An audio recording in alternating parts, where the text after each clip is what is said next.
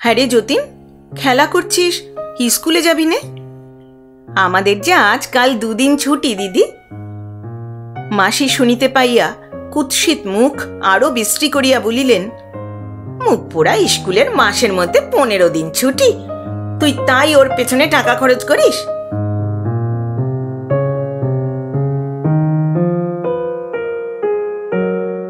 শুভেচ্ছা বন্ধুরা।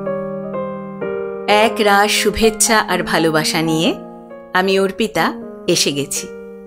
আপনারা শুনছেন এক ব্যাগ গপ্প ইউটিউব চ্যানেল। বন্ধুরা, এক ব্যাগ গপ্প পরিবারটি ধীরে ধীরে বড় হচ্ছে। আপনারা অনেকেই ভালোবাসার হাত বাড়িয়ে দিয়েছেন। এখনও যারা চ্যানেলটি সাবস্ক্রাইব করেননি, তাদের অনুরোধ, চ্যানেলটি সাবস্ক্রাইব করে পাশে থাকুন।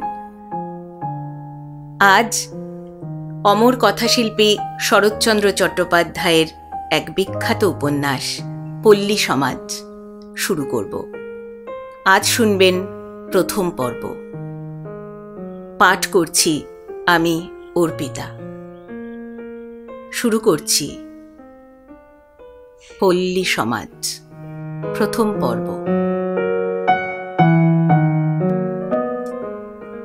বেনি ঘোষাল মুখুজ্জেদের অন্দরের প্রাঙ্গণে পা দিয়াই সম্মুখে এক প্রৌঢ়া রমণীকে পাইয়া প্রশ্ন করিল, এই যে মাসি, রমা কইগা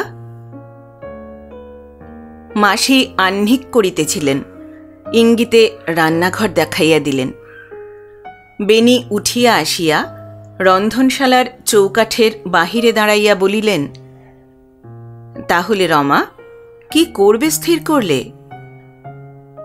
জ্বলন্ত উনান হইতে শব্দায়মান কড়াটা নামাইয়া রাখিয়া রমা মুখ তুলিয়া চাহিল।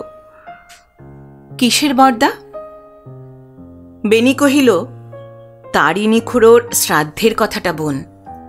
রমেশ তো কাল এসে হাজির হয়েছে। বাপের শ্রাদ্ধ খুব ঘটা করেই করবে বলে বোধ হচ্ছে।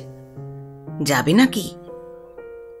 রমা দুই চক্ষু বিস্ময়ে বিস্ফারিত করিয়া বলিল, আমি যাব তারিণী ঘোষালের বাড়ি? বেনি ঈষৎ লজ্জিত হইয়া কহিল সে তো জানি দিদি আর যাই হোক, তোরা কিছুতেই সেখানে যাবি নে। তবে শুনছি নাকি ছোঁড়া সমস্ত বাড়ি বাড়ি নিজে গিয়ে বলবে। বজ্জাতি বুদ্ধিতে সে তার বাপেরও ওপর দিয়ে যায়। যদি আসে, তাহলে কি বলবে? রমা সরসে জবাব দিল, আমি কিছুই বলব না, বাইরের দরওয়ান তার উত্তর দেবে। পূজানিরতা মাসির কর্ণরন্ধ্রে এই অত্যন্ত রুচিকর দলাদলির আলোচনা পৌঁছিবা মাত্রই তিনি আহ্নিক ফেলিয়া উঠিয়া আসিলেন। কহিলেন দরওয়ান কেন? আমি বলতে জানি নে। নচ্ছার বেটাকে এমন বলাই বলব যে বাছাধন জন্মে কখনো আর মুখুজ্জে বাড়িতে মাথা গলাবে না। তারিণী ঘোষালের বেটা ঢুকবে নেমন্তন্ন করতে আমার বাড়িতে।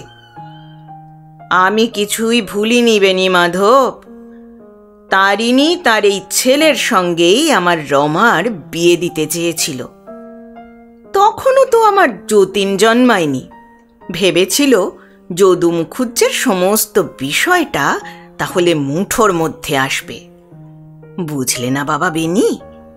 তা যখন হলো না, তখন ওই ভৈরব আচার্যিকে দিয়ে কি সব জপ তপ তুকতাক করিয়ে মায়ের কপালে আমার এমন আগুন ধরিয়ে দিলে যে ছমাস পেরুল না, বাছার হাতের নোয়া মাথার সিঁদুর ঘুঁচে গেল।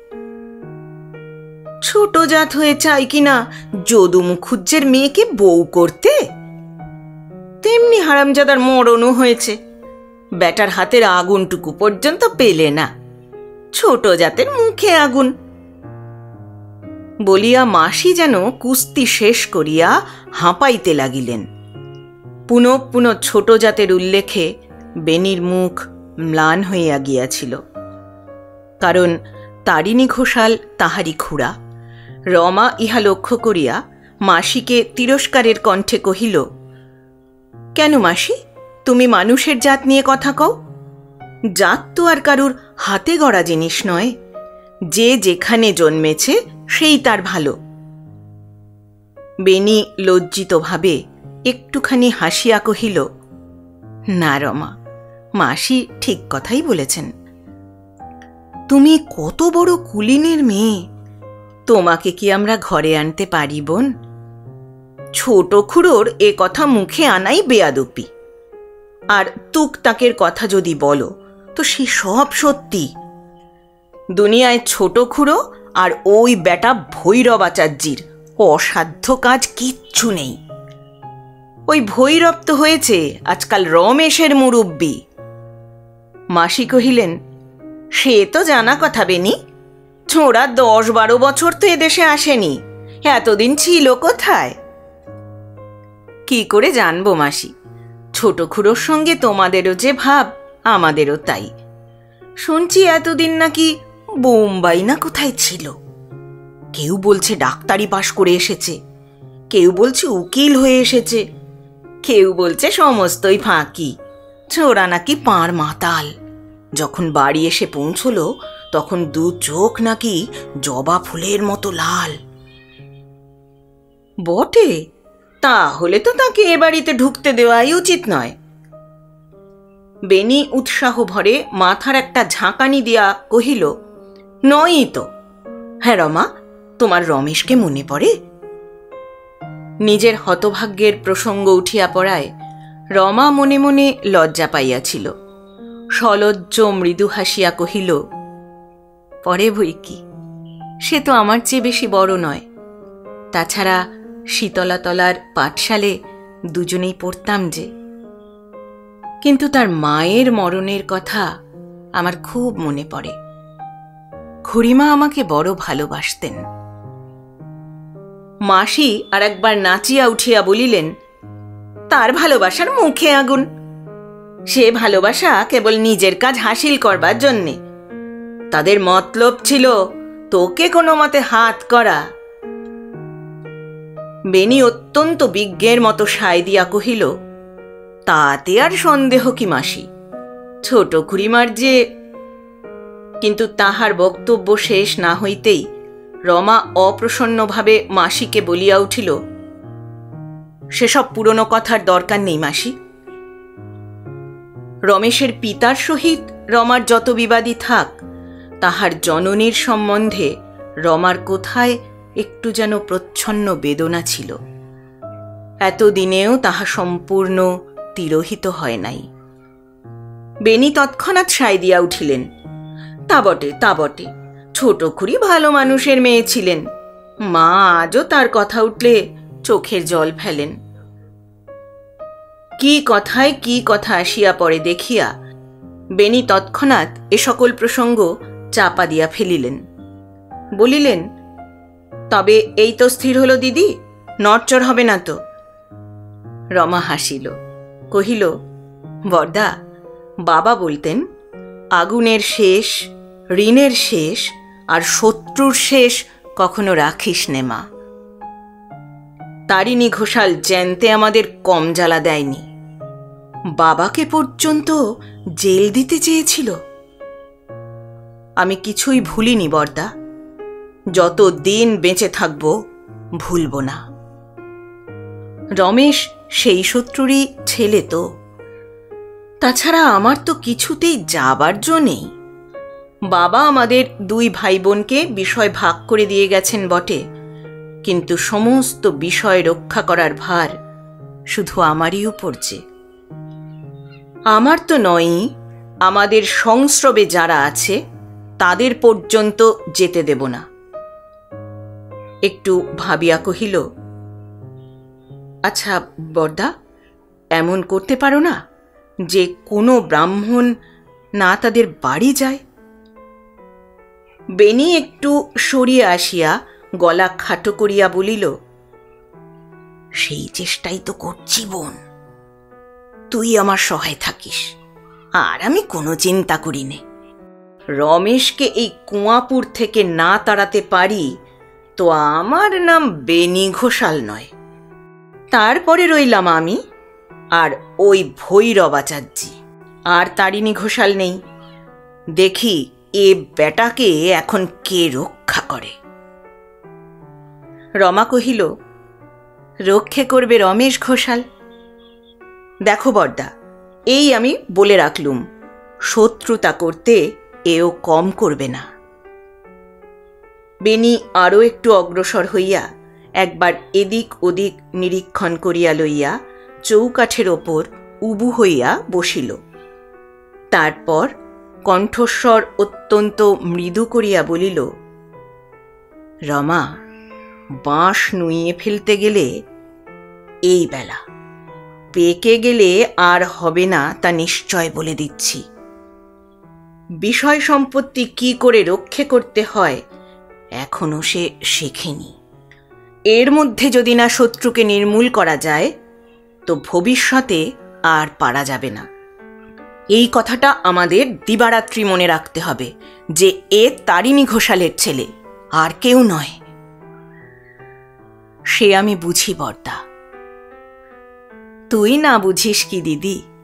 ভগবান তোকে ছেলে গড়তে গড়তে মেয়ে গড়েছিলেন বই তো নয়। বুদ্ধিতে একটা পাকা জমিদারও তোর কাছে হটে যায়। এ কথা আমরা সবাই বলা বলি করি। আচ্ছা কাল একবার আসব, আজ বেলা হলো, যাই। বলিয়া বেনি উঠিয়া পড়িলেন। রমা এই প্রশংসায় অত্যন্ত প্রীত হইয়া উঠিয়া দাঁড়াইয়া বিনয় সহকারে কি একটু প্রতিবাদ করিতে গিয়াই তাহার বুকের ভিতর ছাঁত করিয়া উঠিল। প্রাঙ্গণের এক প্রান্ত হইতে অপরিচিত গম্ভীর কণ্ঠের আহ্বান আসিল, রানী কই রে? রমেশের মা এই নামে ছেলেবেলায় তাহাকে ডাকিতেন। সে নিজেই এতদিন তাহা ভুলিয়া গিয়াছিল।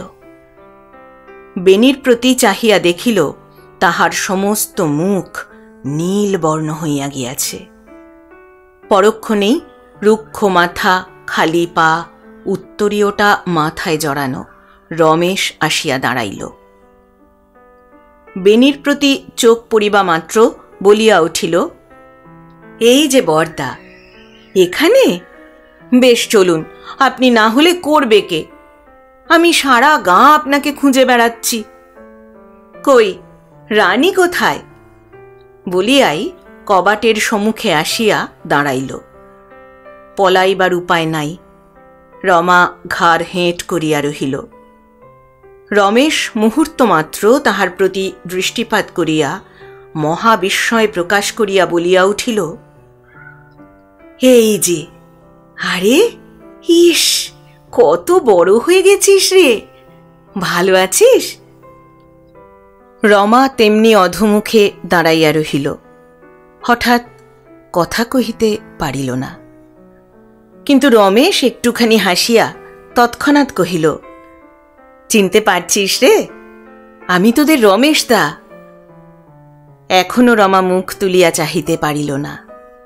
কিন্তু মৃদুকণ্ঠে প্রশ্ন করিল, আপনি ভালো আছেন? হ্যাঁ ভাই, ভালো আছি। কিন্তু আমাকে আপনি কেন রমা বেনির দিকে চাহিয়া একটুখানি মলিন হাসি হাসিয়া বলিল, রমার সেই কথাটা আমি কোনো দিন ভুলতে পারিনি, বর্দা। যখন মা মারা গেলেন, ও তখন তো খুব ছোট। সেই বয়সেই আমার চোখ মুছিয়ে দিয়ে বলেছিল, রমেশ দা, তুমি কেঁদো না, আমার মাকে আমরা দুজনে ভাগ করে নেব। তোর সে কথা বোধ করি আর মনে পড়ে না রমা, তাই না? আচ্ছা আমার মাকে মনে পড়ে তো? কথাটা শুনিয়া রমার ঘাড় যেন লজ্জায় আরও ঝুঁকিয়া পড়িল।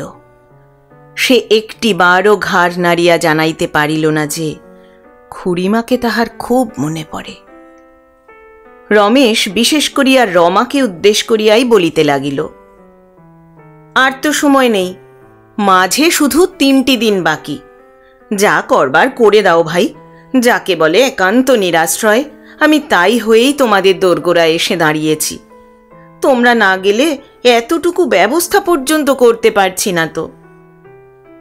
মাসি আসিয়া নিঃশব্দে রমেশের পিছনে দাঁড়াইলেন। বেনি অথবা রমা কেহই যখন একটা কথারও জবাব দিল না, তখন তিনি সম্মুখের দিকে সরিয়া আসিয়া রমেশের মুখ পানে চাহিয়া বলিলেন তুমি বাপু তারিণী ঘোষালের ছেলে না? রমেশ এই মাসিটিকে ইতিপূর্বে দেখে নাই, কারণ সে গ্রাম ত্যাগ করিয়া যাইবার পরে ইনি রমার জননীর অসুখের উপলক্ষে সেই যে মুখুজ্জে বাড়ি ঢুকিয়াছিলেন আর বাহির হন নাই। রমেশ কিছু বিস্মিত হইয়াই তাহার দিকে চাহিয়া রহিল। মাসি বলিলেন না হলে এমন বেহায়া পুরুষ মানুষ আর কে হবে? যেমন বাপ, তেমন বেটা। বলা নেই, কওয়া নেই, একটা গেরস্তের বাড়ির ভিতর ঢুকে উৎপাত করতে সরম হয় না তোমার? রমেশ বুদ্ধিভ্রষ্টের মতো কাঠ হইয়া চাহিয়া রহিল। আমি চললুম, বলিয়া বেনি ব্যস্ত হইয়া সরিয়া পড়িলেন। রমা ঘরের ভিতর হইতে বলিল কি বকছ মাসি? তুমি নিজের কাজে যাও না। মাসি মনে করিলেন, তিনি বঞ্ঝির প্রচ্ছন্ন ইঙ্গিতটা বুঝিলেন। তাই কণ্ঠস্বরে আরও একটু বিষ মিশাইয়া কহিলেন, নে রমা, বকিস নে। যে কাজ করতেই হবে, তাতে আমার তোমাদের মতো চক্ষু লজ্জা হয় না। বেনির অমন ভয়ে পালানোর কি দরকার ছিল? বলে গেলেই তো হতো।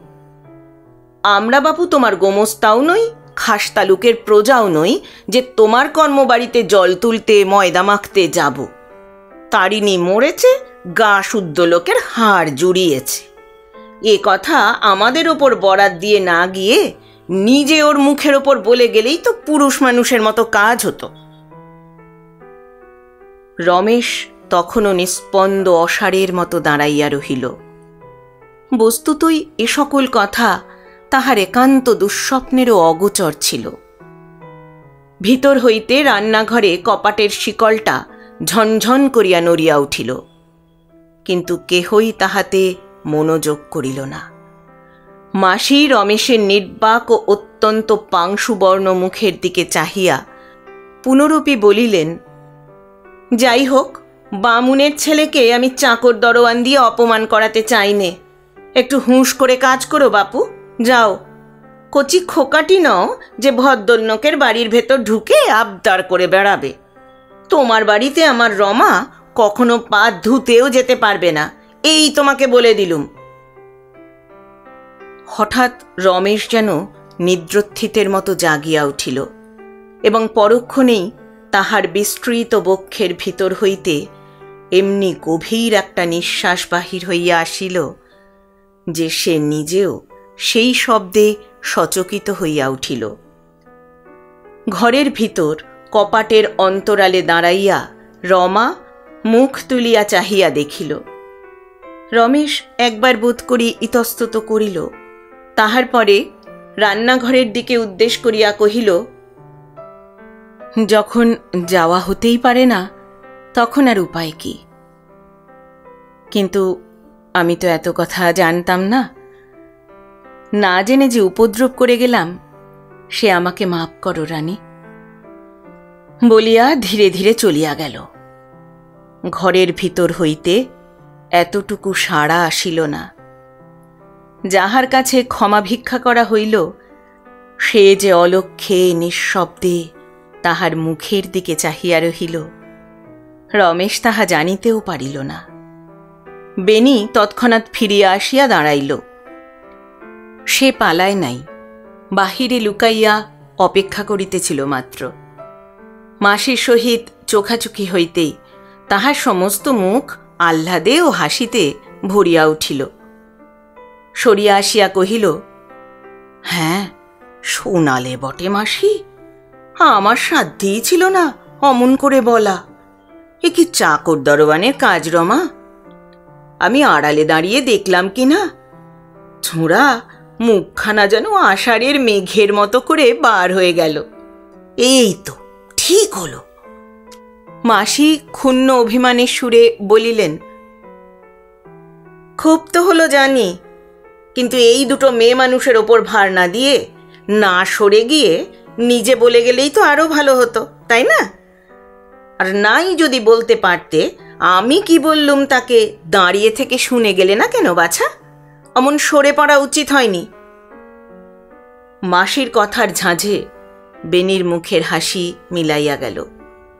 সে যে এই অভিযোগের কি সাফাই দিবে ভাবিয়া পাইল না। কিন্তু অধিকক্ষণ ভাবিতে হইল না। হঠাৎ রমা ভিতর হইতে তাহার জবাব দিয়া বসিল। এতক্ষণ সে একটি কথাও কহে নাই। কহিল, তুমি যখন নিজে বলেছ মাসি, সেই তো সবচেয়ে ভালো হয়েছে। যে যতই বলুক না কেন, এতখানি বিষ জিভ দিয়ে ছড়াতে তোমার মতো তো কেউ পেরে উঠত না। মাসি এবং বেনি উভয়েই যার পর্ণায় বিস্ময়াপন্ন হইয়া উঠিলেন।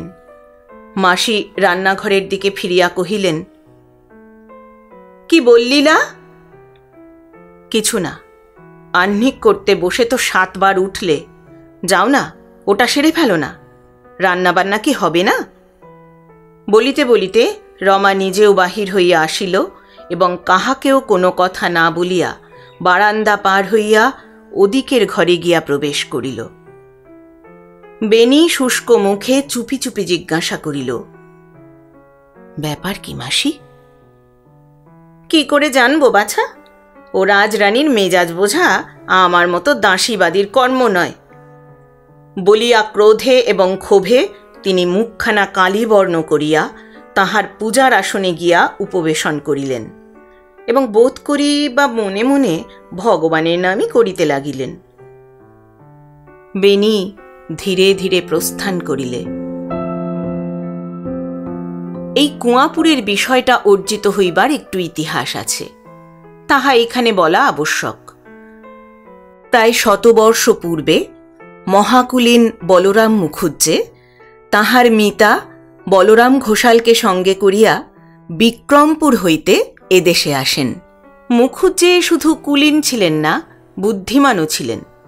বিবাহ করিয়া, বর্ধমান রাজ সরকারের চাকরি করিয়া এবং আরও কি কি করিয়া এই বিষয়টুকু হস্তগত করেন। ঘোষালও এইদিকেই বিবাহ করেন। কিন্তু পিতৃঋণ শোধ করা ভিন্ন, আর তাহার কোনো ক্ষমতাই ছিল না। তাই দুঃখ কষ্টেই তাহার দিন কাটিতেছিল। এই বিবাহ উপলক্ষেই নাকি দুই মিতার মনোমালিন্য ঘটে। পরিশেষে তাহা এমন বিবাদে পরিণত হয় যে, এক গ্রামে বাস করিয়াও বিশ বৎসরের মধ্যে কেহ কাহারও মুখ দর্শন করেন নাই। বলরাম মুখুজ্জে যেদিন মারা যান সেদিনও ঘোষাল তাহার বাটিতে পা দিলেন না। কিন্তু তাহার মরণের পরদিন অতি আশ্চর্য কথা শোনা গেল। তিনি নিজেই সমস্ত বিষয় চুলচিরিয়া, অর্ধেক ভাগ করিয়া নিজের পুত্র ও মিতার পুত্রগণকে দিয়াছেন। সেই অবধি এই কুয়াপুরের বিষয় মুখুজ্জে ও ঘোষাল বংশ ভোগ দখল করিয়া আসিতেছে। ইহারা নিজেরাও জমিদার বলিয়া অভিমান করিতেন গ্রামের লোকও অস্বীকার করিতেন না। যখনকার কথা বলিতেছি, তখন ঘোষাল বংশও ভাগ হইয়াছিল। সেই বংশের ছোট তরফের তারিণী ঘোষাল মোকদ্দমা উপলক্ষে জেলায় গিয়া দিন ছয়েক পূর্বে হঠাৎ যেদিন আদালতের ছোট বড় পাঁচ সাতটা মুলতুবি মোকদ্দমার শেষ ফলের প্রতি ভ্রুক্ষেপ না করিয়া কোথাকার কোন অজানা আদালতের মহামান্য সমন মাথায় করিয়া নিঃশব্দে প্রস্থান করিলেন। তখন তাহাদের কুয়াপুর গ্রামের ভিতরে ও বাইরে একটা হুলুস্থুলু পড়িয়া গেল। বড় তরফের কর্তা বেনি ঘোষাল খুড়োর মৃত্যুতে গোপনে আরামের নিঃশ্বাস ফেলিয়া বাড়ি ফিরিয়া আসিলেন এবং আরও গোপনে দল পাকাইতে লাগিলেন। কি করিয়া খুড়োর আগামী শ্রাদ্ধের দিনটা পণ্ড করিয়া দিবেন? দশ বৎসর খুড়ো ভাইপোর মুখ দেখা দেখি ছিল না। বহু বৎসর তারিণীর গৃহ শূন্য হইয়াছিল। সেই অবধি পুত্র রমেশকে তাহার মামার বাড়ি পাঠাইয়া দিয়া তারিণী বাড়ির ভিতরে দাস, দাসী এবং বাহিরে মোকদ্দমা লইয়াই কাল কাটাইতেছিলেন। রমেশ রুড়কি কলেজে এই দুঃসংবাদ পাইয়া পিতার শেষ কার্য সম্পন্ন করিতে সুদীর্ঘকাল পরে কাল অপরাহ্নে তাহার শূন্য গৃহে আসিয়া উপস্থিত হইয়াছিল। কর্মবাড়ি, মধ্যে শুধু দুইটা দিন বাকি। বৃহস্পতিবার রমেশের পিতৃশ্রাদ্ধ। দুই একজন করিয়া ভিন্ন গ্রামের মুরব্বীরা উপস্থিত হইতেছেন। কিন্তু নিজেদের কুয়াপুরের কেন যে কেহ আসে না, রমেশ তাহা বুঝিয়াছিল। এবং হয়তো শেষ পর্যন্ত কেহ আসিবেই না তাহাও জানিত। শুধু ভৈরব আচার্য ও তাহার বাড়ির লোকেরা আসিয়া কাজকর্মে যোগ দিয়াছিল। স্বগ্রামস্থ ব্রাহ্মণদিগের পদধূলির আশা না থাকিলেও উদ্যোগ আয়োজন রমেশ বড়লোকের মতোই করিয়াছিল। আজ অনেকক্ষণ পর্যন্ত রমেশ বাড়ির ভিতরে কাজকর্মে ব্যস্ত ছিল। কি জন্যে বাহিরে আসিতেই দেখিল, ইতিমধ্যে জন দুই প্রাচীন ভদ্রলোক আসিয়া বৈঠকখানার বিছানায় সমাগত হইয়া ধূমপান করিতেছেন। সম্মুখে আসিয়া সবিনয়ে কিছু বলিবার পূর্বেই পিছনে শব্দ শুনিয়া ফিরিয়া দেখিল, এক অতি বৃদ্ধ পাঁচ ছটি ছেলে মেয়ে লইয়া কাশিতে কাশিতে বাড়ি ঢুকিল। তাহার কাঁধে মলিন উত্তরীয়, নাকের উপর এক জোড়া ভাঁটার মতো মস্ত চশমা। পিছনে দড়ি দিয়া বাঁধা। সাদা চুল, সাদা গোঁফ, তামাকের ধোঁয়ায় তাম্রবর্ণ। অগ্রসর হইয়া আসিয়া তিনি সেই ভীষণ চশমার ভিতর দিয়া রমেশের মুখের দিকে মুহূর্তকাল চাহিয়া বিনা বাক্য ব্যয়ে কাঁদিয়া ফেলিলে। রমেশ চিনিল না, ইনি কে? কিন্তু যেই হন, ব্যস্ত হইয়া কাছে আসিয়া তাহার হাত ধরিতেই তিনি ভাঙা গলায় বলিয়া উঠিলেন না বাবা রমেশ, তারই নিজে এমন করে ফাঁকি দিয়ে পালাবে, তার স্বপ্নেও জানি নে। কিন্তু আমারও এমন চাটুর্যে বংশে জন্ম নয় যে কারু ভয়ে মুখ দিয়ে মিথ্যে কথা বেরোবে। আসবার সময় তোমার বেনি ঘোষালের মুখের সামনে বলে এলুম, আমাদের রমেশ যেমন শ্রাদ্ধের আয়োজন করছে, এমন করা চুলোয় যাক, এ অঞ্চলে কেউ চোখেও দেখেনি। একটু থামিয়া বলিলেন, আমার নামে অনেক শালা অনেক রকম করে তোমার কাছে লাগিয়ে যাবে বাবা। কিন্তু এটা নিশ্চয়ই যেন, এই ধর্মদাস শুধু ধর্মেরই দাস, আর কারও নয়।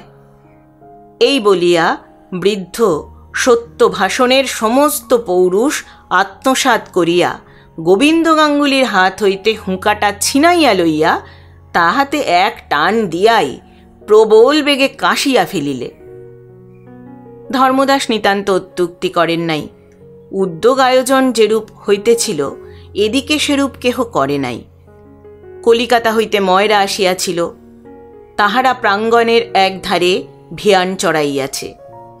সেদিকে পাড়ার কতগুলো ছেলে মেয়ে ভিড় করিয়া দাঁড়াইয়া আছে। কাঙালিদের বস্ত্র দেওয়া হইবে। চণ্ডীমণ্ডপের ওধারের বারান্দায় অনুগত ভৈরব আচার্য থানগুলি পাঠ করিয়া গাদা করিতেছিল। সেদিকে জন কয়েক লোক থাবা পাতিয়া বসিয়া এই অপব্যয়ের পরিমাণ হিসাব করিয়া মনে মনে রমেশের নির্বুদ্ধিতার জন্য তাহাকে গালি পাড়িতেছিল। গরিব দুঃখী সংবাদ পাইয়া অনেক দূরের পথ হইতেও আসিয়া জুটিয়াছিল। লোকজন প্রজা পাঠক বাড়ি পূর্ণ করিয়া কেহ কলহ করিতেছিল, কেহ বা মিছামিছি শুধু কোলাহল করিতেছিল। চারিদিকে চাহিয়া ব্যয়বাহুল্য দেখিয়া ধর্মদাসের কাশি আরও বাড়িয়া গেল। প্রত্যুত্তরে রমেশ সংকুচিত হইয়া না না বলিয়া আর কি বলিতে যাইতেছিল, কিন্তু ধর্মদাস হাত নাড়িয়া থামাইয়া দিয়া ঘর ঘর করিয়া কত কি বলিয়া ফেলিলে, কিন্তু কাশির ধমকে তাহার একটি বর্ণও বুঝা গেল না। গোবিন্দ গাঙ্গুলি সর্বাগ্রে আসিয়াছিলেন।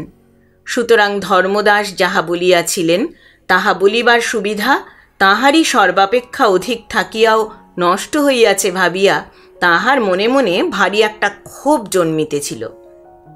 তিনি এ সুযোগ আর নষ্ট হইতে দিলেন না। ধর্মদাসকে উদ্দেশ করিয়া তাড়াতাড়ি বলিয়া উঠিলেন, কাল সকালে বুঝলে ধর্মদাস দা? এখানে আসব বলে বেরিয়েও আসা হলো না। বেনির ডাকাডাকি, গোবিন্দ খুড়ো, তামাক খেয়ে যাও। একবার ভাবলুম কাজ নেই। তারপর মনে হলো ভাবখানা বেনির দেখেই যাই না। বেনি কি বললে জানো বাবা রমেশ? বললে, খুড়ো, বলি তোমরা তো রমেশের মুরব্বি হয়ে দাঁড়িয়েছ। কিন্তু জিজ্ঞেস করি, লোকজন খাবে টাবে তো? আমি বা ছাড়ি কেন? তুমি বড় লোক আছো না আছো। আমার রমেশ কারোচ্ছে খাটো তো নয়। তোমার ঘরে তো এক মুঠো চিঁড়ের পিত্তেশ কারণ নেই। বললুম বেনিবাবু এই তো পথ। একবার কাঙালি বিদায়টা দাঁড়িয়ে দেখো। কালকের ছেলে রমেশ কিন্তু বুকের পাটাও বলি একে। এতটা বয়স হলো, এমন আয়োজন কখনো চোখে দেখিনি বাবা। কিন্তু তাও বলি ধর্মদাসদা, আমাদের সাধ্যি বা কি? যার কাজ তিনি উপর থেকে করাচ্ছেন। তারিণীদা সাভ্রষ্ট দিকপাল ছিলেন বই তো নয়। ধর্মদাসের কিছুতেই কাশি থামে না, সে কাশিতেই লাগিল। আর তাহার মুখের সামনে গাঙ্গুলি মশাই বেশ বেশ কথাগুলি অপরিপক্ক তরুণ জমিদারটিকে বলিয়া যাইতে লাগিল দেখিয়া। ধর্মদাস আরও ভালো কিছু বলিবার চেষ্টায় যেন আকুলি বিকুলি করিতে লাগিল। গাঙ্গুলি বলিতে লাগিল, তুমি তো আমার পর নও বাবা, নিতান্ত আপনার। তোমার মা যে আমার একেবারে সাক্ষাৎ পেস্তুত বোনের খুর্তুত ভগিনী। রাধানগরের বারুদ যে বাড়ি সেসব তারিণীদা জানতেন। তাই যে কোনো কাজকর্মে মামলা মোকদ্দমা করতে, সাক্ষী দিতে ডাক গোবিন্দকে। ধর্মদাস প্রাণপণ বলে কাশি থামাইয়া খিঁচাইয়া উঠিল। কেন বাজে বকিস গোবিন্দ? আমি আজকের নয়, না জানি কি হ্যাঁ? সে বছর সাক্ষী দেবার কথায় বললি, আমার জুতো নেই। খালি পায়ে যাই কি করে? তারিনি অমনি আড়াই টাকা দিয়ে একজোড়া জুতো কিনে দিল। তুই সেই পায়ে দিয়ে বেনির হয়ে সাক্ষী দিয়ে এলি? হ্যাঁ? গোবিন্দ চক্ষু রক্তবর্ণ করিয়া কহিল, এলুম এলি নে হ্যাঁ? দূর, মিথ্যাবাদী। মিথ্যাবাদী তোর বাবা। গোবিন্দ তাহার ভাঙা ছাতি হাতি করিয়া লাফাইয়া উঠিল। তবে রে শালা। ধর্মদাস তাহার বাঁশের লাঠি উঁচাইয়া হুঙ্কার দিয়াই প্রচণ্ডভাবে কাশিয়া ফেলিল। রমেশ শশব্যস্তে উভয়ের মাঝখানে আসিয়া পড়িয়া স্তম্ভিত হইয়া গেল। ধর্মদাস লাঠি নামাইয়া কাশিতে কাশিতে বসিয়া পড়িয়া বলিল, ও শালার সম্পর্কে আমি বড় ভাই হই কি না? হ্যাঁ তাই শালার আঁকেল দেখো। ও শালা আমার বড় ভাই? বলিয়া গোবিন্দ গাঙ্গুলিও ছাতি গুটাইয়া বসিয়া পড়িল। শহরের ময়রারা ভিয়ান ছাড়িয়া চাহিয়া রহিল। চতুর্দিকে যাহারা কাজে কর্মে নিযুক্ত ছিল, চেঁচামেচি শুনিয়া তাহারা তামাশা দেখিবার জন্য সম্মুখে ছুটিয়া আসিল। ছেলেমেয়েরা খেলা ফেলিয়া হাঁ করিয়া মজা দেখিতে লাগিল এবং এই সমস্ত লোকের দৃষ্টির সম্মুখে রমেশ লজ্জায়, বিস্ময়ে, হতবুদ্ধির মতো স্তব্ধ হইয়া দাঁড়াইয়া রহিল। তাহার মুখ দিয়া একটি কথাও বাহির হইল না। কি? উভয়ই প্রাচীন ভদ্রলোক, ব্রাহ্মণ সন্তান। এত সামান্য কারণে এমন ইতরের মতো গালিগালাজ করিতে পারে? বারান্দায় বসিয়া ভৈরব কাপড়ের থাক দিতে দিতে সমস্তই দেখিতেছিল, শুনিতেছিল।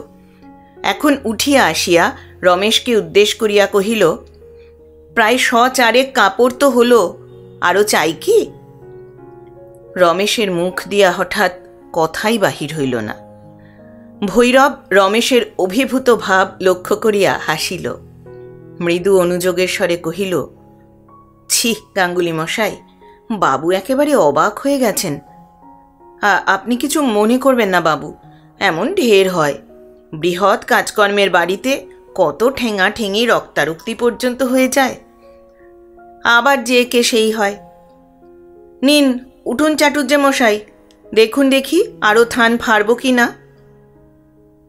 ধর্মদাস জবাব দিবার পূর্বেই গোবিন্দ গাঙ্গুলি সোৎসাহে শিরশ্চালন পূর্বক খাড়া হইয়া বলিল, হয়ই তো হয়ই তো ঢের হয়, নইলে বিরোধ কর্ম বলেছে কেন?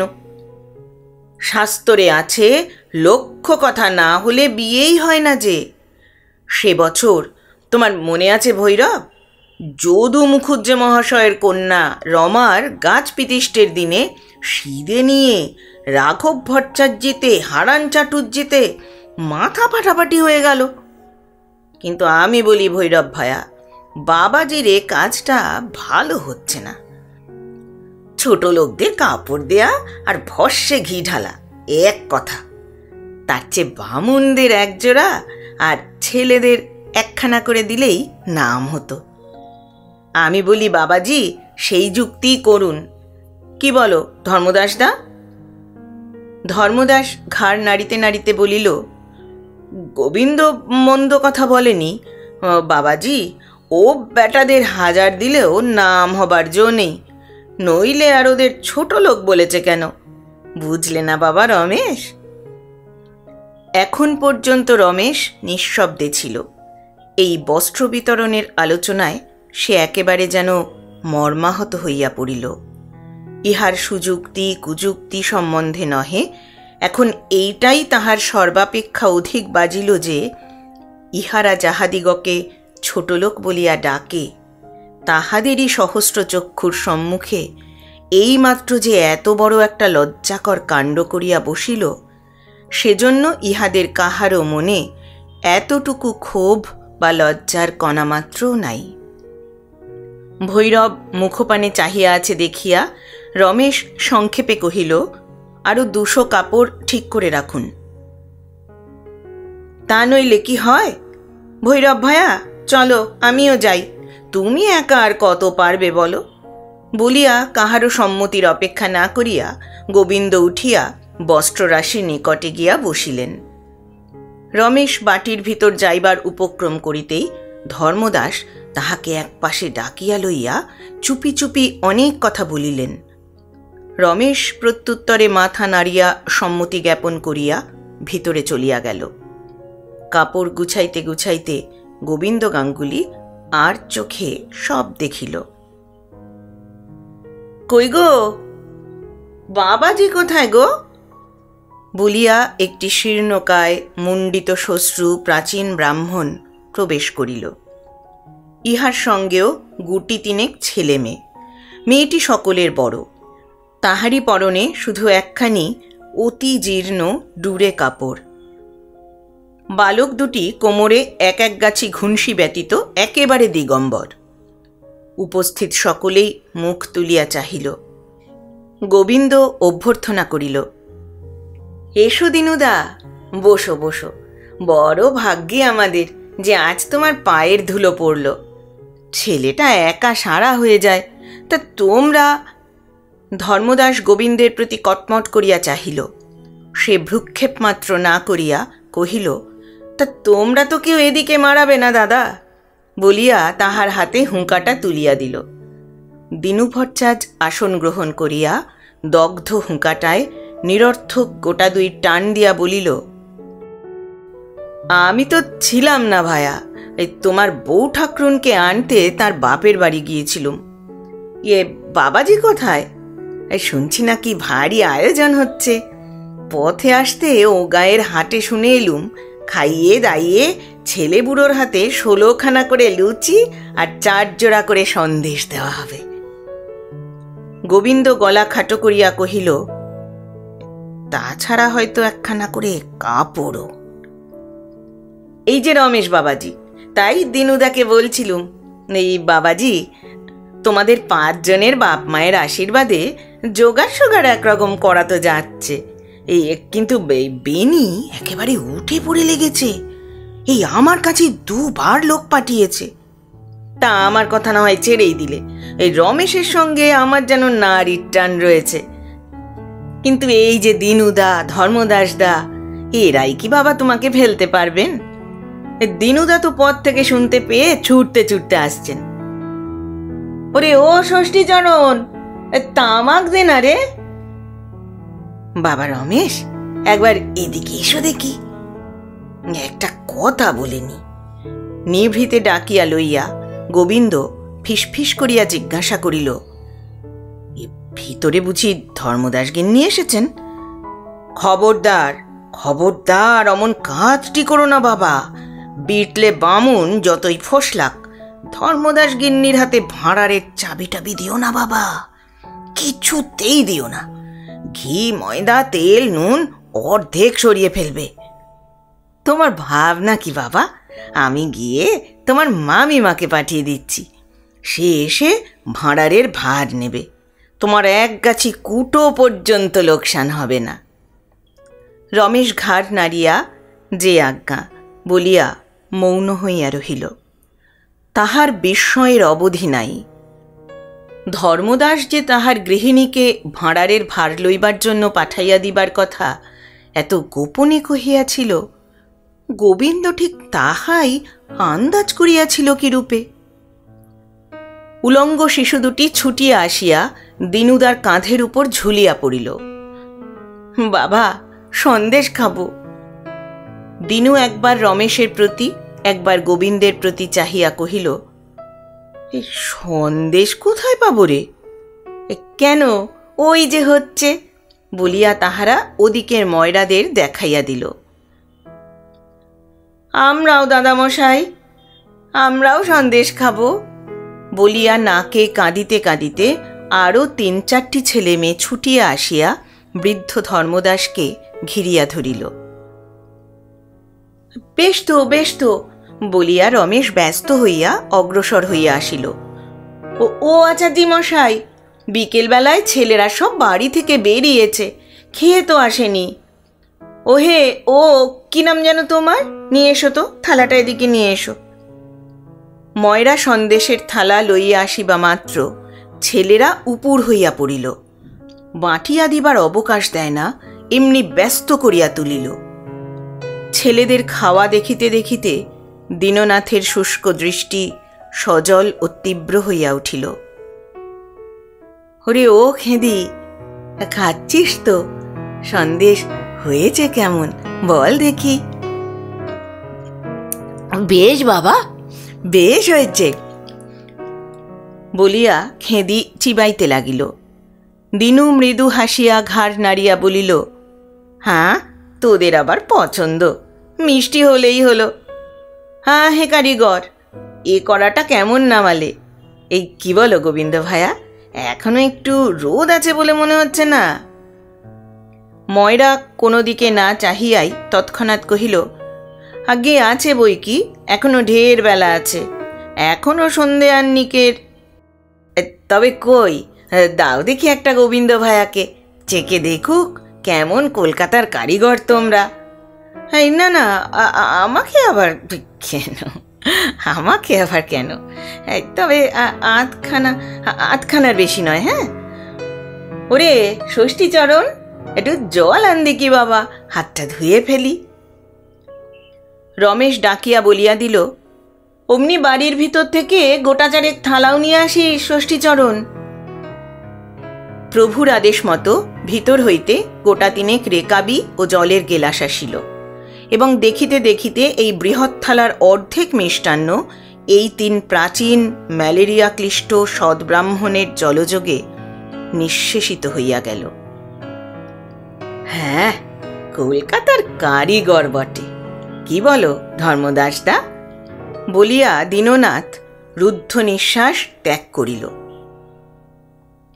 ধর্মদাসদার তখনও শেষ হয় নাই, এবং যদিচ তাহার অব্যক্ত কণ্ঠস্বর সন্দেশের তাল ভেদ করিয়া সহজে মুখ দিয়া বাহির হইতে পারিল না, তথাপি বোঝা গেল, এ বিষয়ে তাহার মতভেদ নাই। হ্যাঁ হোস্তাদি হাত বটে, বলিয়া গোবিন্দ সকলের শেষে হাত ধুইবার উপক্রম করিতেই ময়রা সবিনয়ে অনুরোধ করিল, এ যদি কষ্টই করলেন ঠাকুরমশাই, তবে মিহিদানাটা একটু পরক করে দিন। মিহিদানা কই, আনো দেখি বাপু। মিহিদানা আসিল এবং এতগুলি সন্দেশের পরে এই নূতন বস্তুটির সদ্ব্যবহার দেখিয়া রমেশ নিঃশব্দে চাহিয়া রহিল। দীননাথ মেয়ের প্রতি হস্ত প্রসারিত করিয়া কহিল ও ওরে ও খেঁদি এই ধর দেখি মা এই দুটো মিহিদানা ধর। আমি আর খেতে পারব না বাবা। পারবি পারবি এক ঢোক জল খেয়ে গলাটা ভিজিয়ে নে দিকি মুখ মেরে গেছে বই তো নয়। না পারিস তো আচলে একটা গেঁড়ো দিয়ে রাখ কাল সকালে খাস। হ্যাঁ বাপু। খাওয়ালে বটে। যেন অমৃত। তা বেশ হয়েছে। এই মিষ্টি বুঝি দুরকম করলে বাবাজি? রমেশকে বলিতে হইল না। ময়রা সোৎসাহে কহিল, আগে না, রসগোল্লা, ক্ষীরমোহন। হ্যাঁ? ক্ষীরমোহন? কই, সে তো বার করলে না বাপু। বিস্মিত রমেশের মুখের পানে চাহিয়া দীননাথ কহিল খেয়েছিলুম বটে রাধানগরের বসেদের বাড়িতে। আজও যেন মুখে লেগে রয়েছে। বললে বিশ্বাস করবে না বাবাজি। ক্ষীরমোহন খেতে আমি বড্ড ভালোবাসি। রমেশ হাসিয়া একটুখানি ঘাড় নাড়িল। কথাটা বিশ্বাস করা তাহার কাছে খুব একটা কঠিন বলিয়া মনে হইল না। রাখাল কি কাজে বাহিরে যাইতেছিল? রমেশ তাহাকে ডাকিয়া কহিল, এই ভেতরে বোধ করি আচার্যি মশাই আছেন। যা তো রাখাল, কিছু ক্ষীর মোহন তাকে আনতে বলে আয় দেখি। সন্ধ্যা বোধ করি উত্তীর্ণ হইয়াছে। তথাপি ব্রাহ্মণেরা ক্ষীরমোহনের আশায় উৎসুক হইয়া বসিয়া আছেন। রাখাল ফিরিয়া বলিল, আজ আর ভাড়ারের চাবি খোলা হবে না বাবু। রমেশ মনে মনে বিরক্ত হইল। কহিল, বলগে, আমি আনতে বলেছি। গোবিন্দ গাঙ্গুলি রমেশের অসন্তোষ লক্ষ্য করিয়া চোখ ঘুরাইয়া কহিল, দেখলে দিনুদা, ভৈরবের আক্কেল এ যে দেখি মায়ের চেয়ে মাসির বেশি দরদ।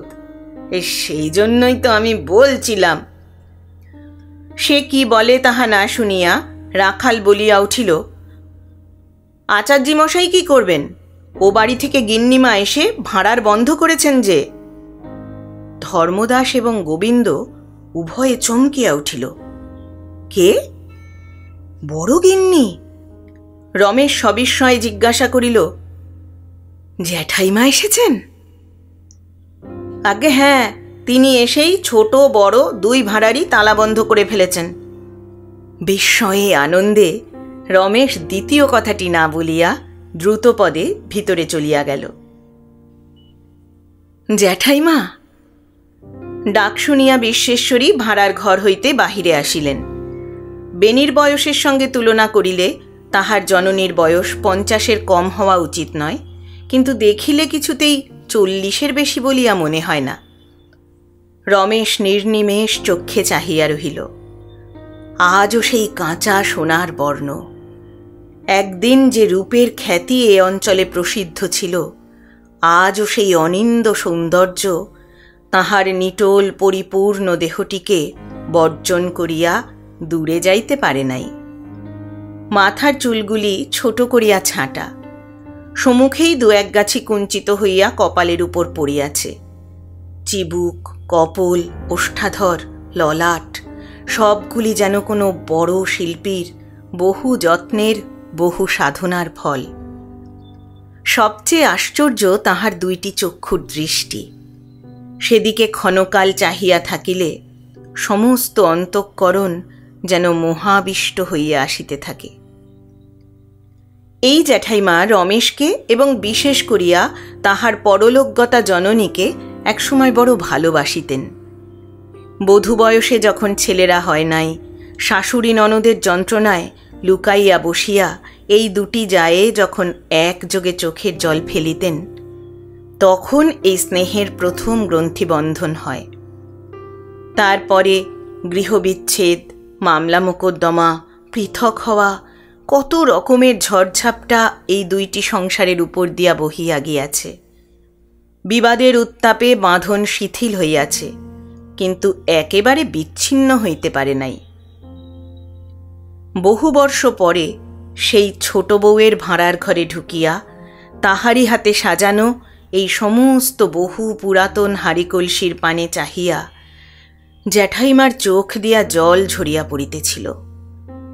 রমেশের আহ্বানে যখন তিনি চোখ মুছিয়া বাহির হইয়া আসিলেন, তখন সেই দুটি আরক্ত, আর্দ্র, চক্ষুপল্লবের পানে চাহিয়া রমেশ ক্ষণকালের জন্য বিস্ময়াপন্ন হইয়া রহিল। জ্যাঠাইমা তাহা টের পাইলেন। তাহাতেই বোধ করিয়া এই সদ্য পিতৃহীন রমেশের প্রতি দৃষ্টিপাত করিতেই তাহার বুকের ভিতরটা যেভাবে হাহাকার করিয়া উঠিল, তাহার লেশ মাত্র তিনি বাইরে প্রকাশ পাইতে দিলেন না। বরং একটুখানি হাসিয়া বলিলেন, চিনতে পারিস, রমেশ?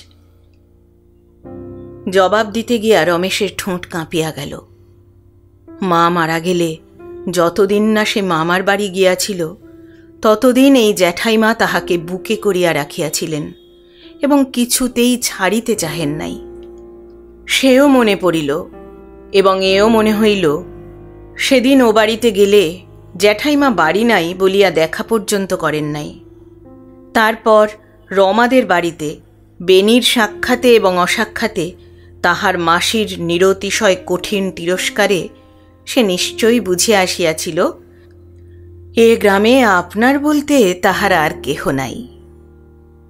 বিশ্বেশ্বরী রমেশের মুখের প্রতি মুহূর্তকাল চাহিয়া থাকিয়া বলিলেন, ছি বাবা, এ সময় শক্ত হতে হয়।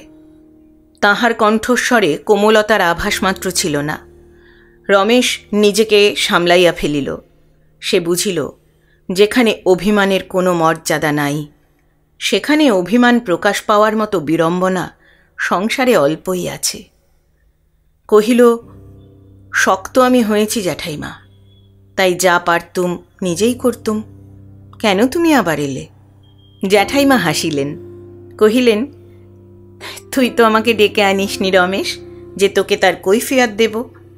তা শোন বলি, কাজকর্ম হবার আগে আর আমি ভাড়ার থেকে খাবার টাবার কোনো জিনিস বার হতে দেব না। যাবার সময় ভাড়ারের চাবি তোর হাতেই দিয়ে যাব। আবার কাল এসে তোর হাত থেকেই নেব। আর কারোর হাতে দিসনি যেন। হ্যাঁ রে, সেদিন তোর বর্দার সঙ্গে দেখা হয়েছিল? প্রশ্ন শুনিয়া রমেশ দ্বিধায় পড়িল। সে ঠিক বুঝিতে পারিল না তিনি পুত্রের ব্যবহার জানেন কি না। ভাবিয়া কহিল, এই বর্দা তখন তো বাড়ি ছিলেন না। প্রশ্ন করিয়াই জ্যাঠাইমার মুখের ওপর একটা উদ্বেগের ছায়া আসিয়া পড়িয়াছিল। রমেশ স্পষ্ট দেখিতে পাইল, তাহার এই কথায় সেই ভাবটা যেন কাটিয়া গিয়া মুখখানি প্রসন্ন হইয়া উঠিল। হাসি মুখে সস্নেহে অনুযোগের কণ্ঠে বলিলেন, হায় আমার কপাল, এই বুঝি? হ্যাঁ রে, দেখা হয়নি বলে আর যেন যেতে নেই। আমি জানি রে, সে তোদের উপর সন্তুষ্ট নয়। কিন্তু তোর কাজ তো তোর করা চাই। যা, একবার ভালো করে বলগে যা রমেশ। সে বড় ভাই, তার কাছে হেঁট হতে তোর কোনো লজ্জা নেই তো। তাছাড়া, এটা মানুষের এমন দুঃসময় বাবা। যে কোনো লোকের হাতে পায়ে ধরে মিটমাট করে নিতেও লজ্জা নেই। লক্ষ্মী মানিক আমার, যা একবার। এখন বোধহয় সে বাড়িতেই আছে। রমেশ চুপ করিয়া রহিল। এই আগ্রহের হেতুও তাহার কাছে সুস্পষ্ট হইল না। মন হইতে সংশয়ও ঘুচিল না।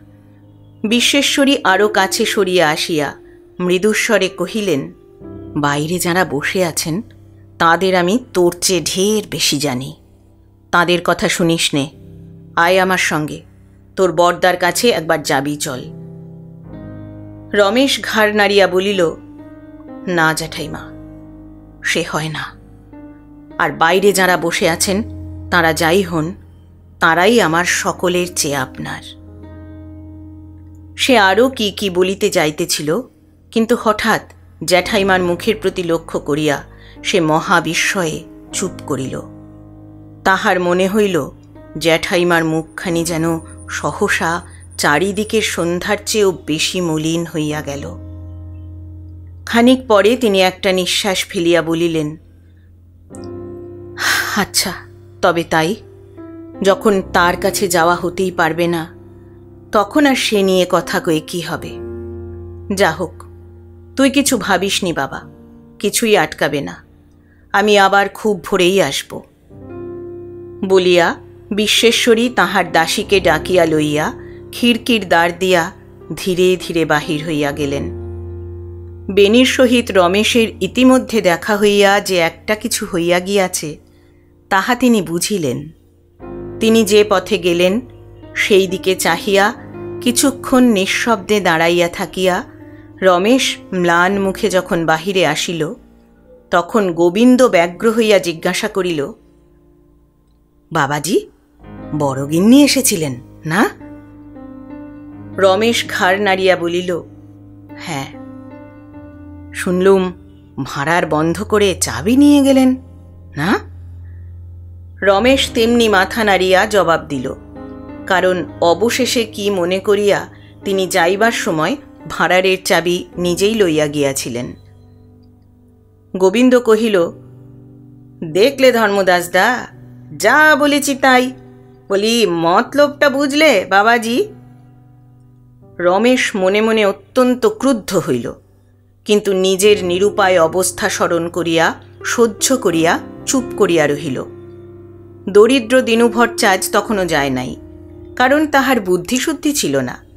ছেলে মেয়ে লইয়া যাহার দয়ায় পেট ভরিয়া সন্দেশ খাইতে পাইয়াছিল, তাহাকে আন্তরিক দুটা আশীর্বাদ না করিয়া সকলের সম্মুখে উচ্চকণ্ঠে তাহার সাত পুরুষের স্তব স্তুতি না করিয়া আর ঘরে ফিরিতে পারিতেছিল না।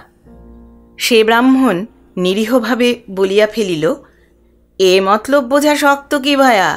তালা বন্ধ করে চাবি নিয়ে গেছেন। তার মানে ভাঁড়ার আর কারোর হাতে না পড়ে। তিনি তো সমস্তই জানেন। গোবিন্দ বিরক্ত হইয়াছিল। নির্বোধের কথায় জ্বলিয়া উঠিয়া তাহাকে একটা ধমক দিয়া কহিল বোঝো না সোজো তুমি কথা কাউ কেন বলো তো? তুমি এসব ব্যাপারের কি বোঝো? যে মানে করতে এসেছ? ধমক খাইয়া দিনুর নির্বুদ্ধিতা আরও বাড়িয়া গেল। সেও উষ্ণ হইয়া জবাব দিল, আরে, এতে বোঝাবুঝিটা আছে কোনখানে? শুনছ না, গিন্নিমা স্বয়ং এসে ভাড়ার বন্ধ করে চাবি নিয়ে গেছেন। এতে কথা কইবে আবার কে? গোবিন্দ আগুন হইয়া কহিল, ঘরে যাও না ভট্টাচ, যে জন্যে ছুটে এসেছিলে, গুষ্টিবজ্ঞ মিলে তো খেলে, বাঁধলে আর কেন? ক্ষীরমোহন পশু খেয়েও আজ আর হবে না, এখন যাও, আমাদের ঢের কাজ আছে। দিনু লজ্জিত ও সংকুচিত হইয়া পড়িল। রমেশ ততোধিক কুণ্ঠিত ও ক্রুদ্ধ হইয়া উঠিল। গোবিন্দ আরও কি বলিতে যাইতেছিল, কিন্তু সহসা রমেশের শান্ত অথচ কঠিন কণ্ঠস্বরে থামিয়া গেল। আপনার হলো কি গাঙ্গুলি মশাই? যাকে তাকে এমন খামোকা অপমান করছেন কেন? গোবিন্দ ভর্ৎসিত হইয়া প্রথমটা বিস্মিত হইল। কিন্তু পরক্ষণেই শুষ্ক হাসি হাসিয়া বলিল অপমান আবার কাকে করলুম, বাবাজি? হ্যাঁ ভালো, ওকেই জিজ্ঞাসা করে দেখো না, সত্যি কথাটি বলেছি কি না। ও ডালে ডালে বেড়ায়, তো আমি পাতায় পাতায় ফিরি যে। দেখলে ধর্মদাস দা, দিনে বামনা রাসপদ্দা ধর্মদাসদা কি দেখিল তা সেই জানে, কিন্তু রমেশ লোকটার নির্লজ্জতা ও স্পর্ধা দেখিয়া অবাক হইয়া গেল। তখন দিনু রমেশের দিকে চাহিয়া নিজেই বলিল এই না বাবা, গোবিন্দ সত্যি কথাই বলেছে। আমি বড় গরিব, সে কথা সবাই জানে। ওদের মতো আমার জমি, জমা, চাষবাস কিছুই নেই। একরকম চেয়ে চিনতে ভিক্ষে শিক্ষে করেই আমার দিন চলে। ভালো জিনিস ছেলেপিলেদের কিনে খাওয়াবার ক্ষমতা তো ভগবান দেননি। তাই বড় ঘরে কাজকর্ম হলে ওরা খেয়ে বাঁচে। কিছু মনে করো না বাবা। তারিণী দাদা বেঁচে থাকতে তিনি আমাদের খাওয়াতে বড় ভালোবাসতেন। তাই আমি তোমাকে নিশ্চয়ই বলছি বাবা, আমরা যে আশ মিটিয়ে খেয়ে গেলুম, তিনি ওপর থেকে দেখে খুশি হয়েছেন। হঠাৎ দিনুর গম্ভীর শুষ্ক চোখ দুটা জলে ভরিয়া উঠিয়া টপ টপ করিয়া দুফোঁটা সকলের সম্মুখেই ছড়িয়া পড়িল। রমেশ মুখ ফিরিয়া দাঁড়াইল। দিনু তাহার মলিন ও শতচ্ছিন্ন উত্তরীয় প্রান্তে অশ্রু মুছিয়া ফেলিয়া বলিল, শুধু আমিই নই বাবা, এদিকে আমার মতো দুঃখী গরিব যে যেখানে আছে তারিণীদার কাছে হাত পেতে কেউ কখনো অমনি ফেরেনি। সে কথা কে আর না জানে বলো? তার ডান হাতের দান বাঁ হাতটাও টের পেত না যে। আর তোমাদের জ্বালাতন করব না। নে মা খেদি ওট হরিধন, চল বাবা, ঘরে যাই। আবার কাল সকালে আসব বাবা রমেশ। আর কি বলব বলো, বাপের মতো হও, দীর্ঘজীবী হও। রমেশ তাহার সঙ্গে আসিয়া আর্দ্রকণ্ঠে কহিল ভট্টাচার্য মশাই এই দুটো তিনটে দিন আমার ওপর দয়া রাখবেন। আর বলতে সংকোচ হয়। কিন্তু এ বাড়িতে হরিধনের মায়ের যদি পায়ের ধুলো পড়ে, তো ভাগ্য বলে মনে করব। ভট্টাচার্য মশাই ব্যস্ত হইয়া নিজের দুই হাতের মধ্যে রমেশের দুই হাত চাপিয়া ধরিয়া কাঁদো কাঁদো হইয়া বলিল, আমি বড় দুঃখী বাবা রমেশ, আমাকে এমন করে বললে যে লজ্জায় মরে যাই। ছেলে মেয়ে সঙ্গে করিয়া বৃদ্ধ ধীরে ধীরে চলিয়া গেল। রমেশ ফিরিয়া আসিয়া মুহূর্তের জন্য নিজের রূঢ় কথা স্মরণ করিয়া গাঙ্গুলি মশাইকে কিছু বলিবার চেষ্টা করিতেই সে থামাইয়া দিয়া উদ্দীপ্ত হইয়া বলিয়া উঠিল, এ যে আমার নিজের কাজ রমেশ, তুমি না ডাকলেও যে আমার নিজে এসেই সমস্ত করতে হতো। তাই তো এসেছি। ধর্মদাস দা আর আমি, দুই ভাই তো তোমার ডাকবার অপেক্ষা রাখিনি বাবা। ধর্মদাস এইমাত্র তামাক খাইয়া কাশিতেছিল। লাঠিতে ভর দিয়া দাঁড়াইয়া কাশির ধমকে চোখ মুখ রাঙা করিয়া হাত ঘুরাইয়া বলিল বলি, শোনো রমেশ, আমরা বেনি ঘোষাল নই, আমাদের জন্মের ঠিক আছে। তাহার কুৎসিত কথায় রমেশ চমকিয়া উঠিল, কিন্তু রাগ করিল না। এই অত্যল্প সময়ের মধ্যেই সে বুঝিয়াছিল, ইহারা শিক্ষা ও অভ্যাসের দোষে অসংকোচে কত বড় গর্হিত কথা যে উচ্চারণ করে, তাহা জানেও না। জ্যাঠাইমার সস্নেহ অনুরোধে এবং তাহার ব্যথিত মুখ মনে করিয়া রমেশ ভিতরে ভিতরে পীড়া অনুভব করিতেছিল।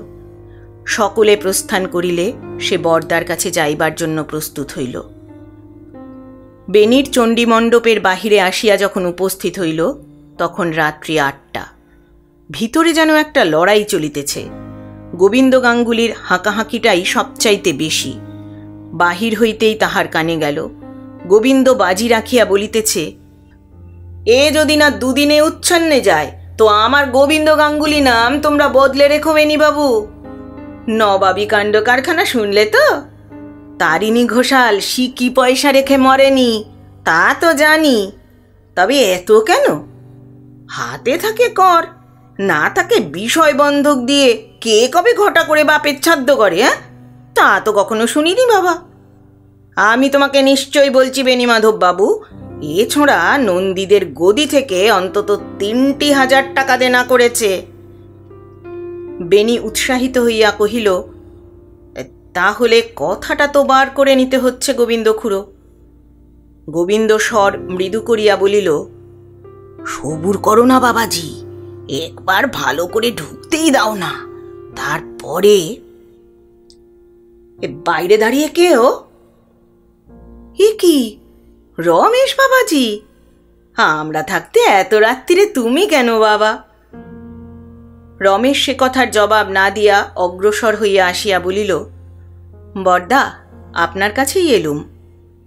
বেনি থতমত খাইয়া জবাব দিতে পারিল না। গোবিন্দ তৎক্ষণাৎ কহিল, আসবে বই কি বাবা? একশো বার আসবে। এ তো তোমারই বাড়ি, আর বড় ভাই পিতৃতুল্য। তাই তো আমরা বেনিবাবুকে বলতে এসেছি। বেনিবাবু তারিণীদার সঙ্গে মনোমালিন্য, তার সঙ্গেই যাক, আর কেন? তোমরা দু ভাই এবারে এক হও। আমরা দেখে চোখ জুড়ুই। কি বলো, হালদার মামা? ও কি? দাঁড়িয়ে রইলে যে বাবা। কে আছিস রে? একখানা কম্বলের আসন টাসন পেতে দে না রে।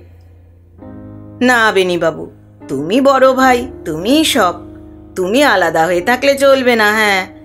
তাছাড়া বড় গিন্নি ঠাকরুন যখন স্বয়ং গিয়ে উপস্থিত হয়েছেন, তখন বেনি চমকাইয়া উঠিল। মা গিয়েছিলেন? এই চমকটা লক্ষ্য করিয়া গোবিন্দ মনে মনে খুশি হইল। কিন্তু বাহিরে সে ভাব গোপন করিয়া নিতান্ত ভালো মানুষের মতো খবরটা ফলাও করিয়া বলিতে লাগিল, শুধু যাওয়া কেন? ভাড়ার টাড়ার, করা, কর্ম, যা কিছু তিনিই তো করছেন। আর তিনি না করলে করবেই বা কে? সকলেই চুপ করিয়া রহিল। গোবিন্দ একটা দীর্ঘ নিঃশ্বাস ফেলিয়া কহিল, না গায়ের মধ্যে বড় গিন্নি ঠাকরুনের মতো মানুষ কি আর আছে? এই না হবে কেন? না বেনিবাবু সামনে বললে খোসামত করা হবে। কিন্তু যে যাই বলুক, গায়ে যদি একজন লক্ষ্মী থাকেন, তো সে তোমার মা। এমন মা কি কারুর হয়? বলিয়া পুনশ্চ একটা দীর্ঘশ্বাস ত্যাগ করিয়া গম্ভীর হইয়া রহিলেন। বেনি অনেকক্ষণ চুপ করিয়া থাকিয়া অস্ফুটে কহিল আচ্ছা গোবিন্দ চাপিয়া ধরিল, শুধু আচ্ছা নয় বেনি বাবু, যেতে হবে, করতে হবে, সমস্ত ভার তোমার উপরে। ভালো কথা, সবাই তো আপনারা উপস্থিত আছেন, নেমন্তন্নটা কীরকম করে করা হবে, একটা ফদ্দ করে ফেলা হোক না? কি বলো রমেশ বাবাজি, ঠিক কথা না, হালদার মামা? ধর্মদাসদা, চুপ করে রইলে কেন? কাকে বলতে হবে, কাকে বাদ দিতে হবে, জানো তো সব। রমেশ উঠিয়া দাঁড়াইয়া সহজ বিনীত কণ্ঠে বলিল, বর্দা, একবার পায়ের ধুলো যদি দিতে পারেন। বেনি গম্ভীর হইয়া কহিল, মা যখন গেছেন, তখন আমার যাওয়া না যাওয়া, কি বলো গোবিন্দ খুড়ো গোবিন্দ কথা কহিবার পূর্বেই রমেশ বলিল, আপনাকে আমি পীড়াপিড়ি করতে চাই নে বর্দা। যদি অসুবিধা না হয়, একবার দেখে শুনে আসবেন। বেনি চুপ করিয়া রহিল। গোবিন্দ কি একটা বলিবার চেষ্টা করিতেই রমেশ উঠিয়া চলিয়া গেল। তখন গোবিন্দ বাহিরের দিকে গলা বাড়াইয়া দেখিয়া ফিসফিস করিয়া বলিল, দেখলে বেনিবাবু কথার ভাবখানা। বেনি অন্যমনস্ক হইয়া কি ভাবিতেছিল, কথা কহিল না। পথে চলিতে চলিতে গোবিন্দর কথাগুলো মনে করিয়া রমেশের সমস্ত মন ঘৃণায় পরিপূর্ণ হইয়া উঠিল।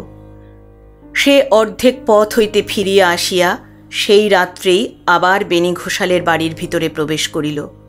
চণ্ডীমণ্ডপের মধ্যে তখন তর্ক, কোলাহল, উদ্দাম হইয়া উঠিয়াছিল, কিন্তু সে শুনিতেও তাহার প্রবৃত্তি হইল না। সোজা ভিতরে প্রবেশ করিয়া রমেশ ডাকিল, জ্যাঠাইমা জ্যাঠাইমা তাহার ঘরের সম্মুখের বারান্দায় অন্ধকারে চুপ করিয়া বসিয়াছিলেন। এত রাত্রে রমেশের গলা শুনিয়া বিস্ময়াপন্ন হইলেন। রমেশ? কেন রে? রমেশ উঠিয়া আসিল। জ্যাঠাইমা ব্যস্ত হইয়া বলিলেন, এ, একটু দাঁড়া বাবা, একটা আলো আনতে বলে দি। আলোয় কাজ নেই জ্যাঠাইমা, তুমি উঠো না। বলিয়া রমেশ অন্ধকারেই একপাশে বসিয়া পড়িল। তখন জ্যাঠাইমা প্রশ্ন করিলেন, এত রাত্রিরে যে? রমেশ মৃদুকণ্ঠে কহিল, এখনও তো নিমন্ত্রণ করা হয়নি জ্যাঠাইমা, তাই তোমাকে জিজ্ঞেস করতে এলুম। তবেই মুশকিলে ফেললি বাবা, এরা কি বলেন? গোবিন্দ গাঙ্গুলি চাটুজ্জে মশাই। রমেশ বাধা দিয়া বলিয়া উঠিল, জানি নে জ্যাঠাইমা, কি এরা বলেন? জানতেও চাইনে। তুমি যা বলবে তাই হবে। অকস্মাৎ রমেশের কথার উত্তাপে বিশ্বেশ্বরী মনে মনে বিস্মিত হইয়া ক্ষণকাল মৌন থাকিয়া বলিলেন, কিন্তু তখন যে বললি রমেশ, এরাই তোর সবচেয়ে আপনার? তা যাই হোক, আমার মেয়ে মানুষের কথাই কি হবে বাবা? এ গায়ে যে আবার, আর এ গাই বা কেন বলি? সব গাই। এ ওর সঙ্গে খায় না, ও তার সঙ্গে কথা কয় না। একটা কাজকর্ম পড়ে গেলে আর মানুষের দুর্ভাবনার অন্ত থাকে না। কাকে বাদ দিয়ে কাকে রাখা যায়, এর চেয়ে শক্ত কাজ আর গ্রামের মধ্যে নেই। রমেশ বিশেষ আশ্চর্য হইল না, কারণ এই কয়দিনের মধ্যেই সে অনেক জ্ঞান লাভ করিয়াছিল। তথাপি জিজ্ঞাসা করিল, কেন এরকম হয় জ্যাঠাইমা? সে অনেক কথা বাবা। যদি থাকি সেখানে নিজেই সব জানতে পারবি। কারুর সত্যকার দোষ অপরাধ আছে, কারুর মিথ্যে অপবাদ আছে। তাছাড়া মামলা, মোকদ্দমা, মিথ্যে সাক্ষী দেওয়া, এসব নিয়েও মস্ত দলাদলি। আমি যদি তোর ওখানে দুদিন আগে যেতুম রমেশ, তাহলে এত উদ্যোগ, আয়োজন কিছুই করতে দিতুম না। কি যে সেদিন হবে তাই কেবল আমি ভাবছি। বলিয়া জ্যাঠাইমা একটি নিঃশ্বাস ফেলিলেন। সে নিঃশ্বাসে যে কি ছিল, তাহার ঠিক মর্মটি রমেশ ধরিতে পারিল না। এবং কাহারও সত্যকার অপরাধী বা কি, এবং কাহারও মিথ্যা অপবাদী বা কি হইতে পারে, তাহাও ঠাহর করিতে পারিল না। বরঞ্চ উত্তেজিত হইয়া কহিল, কিন্তু আমার সঙ্গে তো তার কোনো যোগ নেই। আমি একরকম বিদেশি বললেই হয়। কারোর সঙ্গে কোনো শত্রুতা তো নেই। তাই আমি বলছি, জ্যাঠাইমা, আমি দলাদলির কোনো বিচারই করব না। সমস্ত ব্রাহ্মণ শূদ্রই নিমন্ত্রণ করে আসব। কিন্তু তোমার হুকুম ছাড়া তো পারি নে তুমি হুকুম দাও, জ্যাঠাইমা। জ্যাঠাইমা কিছুক্ষণ চুপ করিয়া ভাবিয়া বলিলেন, এরকম হুকুম তো দিতে পারি নে রমেশ। তাতে ভারী গোলযোগ ঘটবে। তবে তোর কথাও যে সত্যি নয়, তাও আমি বলিনে। কিন্তু এ ঠিক সত্যি মিথ্যের কথা নয় বাবা। সমাজ যাকে শাস্তি দিয়ে আলাদা করে রেখেছে, তাকে জবরদস্তি ডেকে আনা যায় না। সমাজ যাই হোক, তাকে মান্য করতেই হবে। নইলে তার ভালো করবার, মন্দ করবার কোনো শক্তিই যে থাকে না। এরকম হলে তো কোনো মতে চলতে পারে না রমেশ। ভাবিয়া দেখিলে রমেশ কথা যে অস্বীকার করিতে পারিত, তাহা নহে। কিন্তু এইমাত্র নাকি বাহিরে এই সমাজের শীর্ষস্থানীয়দের ষড়যন্ত্র এবং নিচাশয়তা তাহার বুকের মধ্যে আগুনের শিখার মতো জ্বলিতেছিল, তাই সে তৎক্ষণাৎ ঘৃণা ভরে বলিয়া উঠিল, এ গাঁয়ের সমাজ বলতে ধর্মদাস, গোবিন্দ এরা তো? এমন সমাজের এক বিন্দু ক্ষমতাও না থাকে, সেই তো ঢের ভালো জ্যাঠাইমা। জ্যাঠাইমা রমেশের উষ্ণতা লক্ষ্য করিলেন, কিন্তু শান্ত কণ্ঠে বলিলেন, শুধু এরা নয় রমেশ, তোমার বর্দা বেনিও সমাজের একজন কর্তা।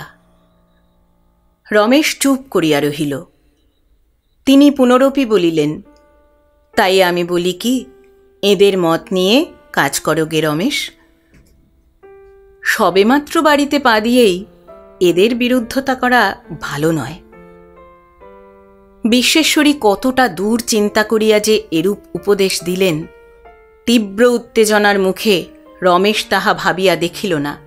কহিল, তুমি নিজেই মাত্র বললে জ্যাঠাইমা, নানান কারণে এখানে দলাদলি সৃষ্টি হয়। বোধ করি ব্যক্তিগত আক্রোশটাই সবচেয়ে বেশি। তাছাড়া আমি যখন সত্যি মিথ্যে কারও দোষ অপরাধের কথা জানিই নে তখন কোনো লোককেই বাদ দিয়ে অপমান করা আমার পক্ষে অন্যায় নয়। জ্যাঠাইমা একটুখানি হাসিয়া বলিলেন, ওরে পাগলা, আমি তোর গুরুজন, মায়ের মতো। আমার কথাটা না শোনাও তো তোর পক্ষে অন্যায়। কি করব জ্যাঠাইমা?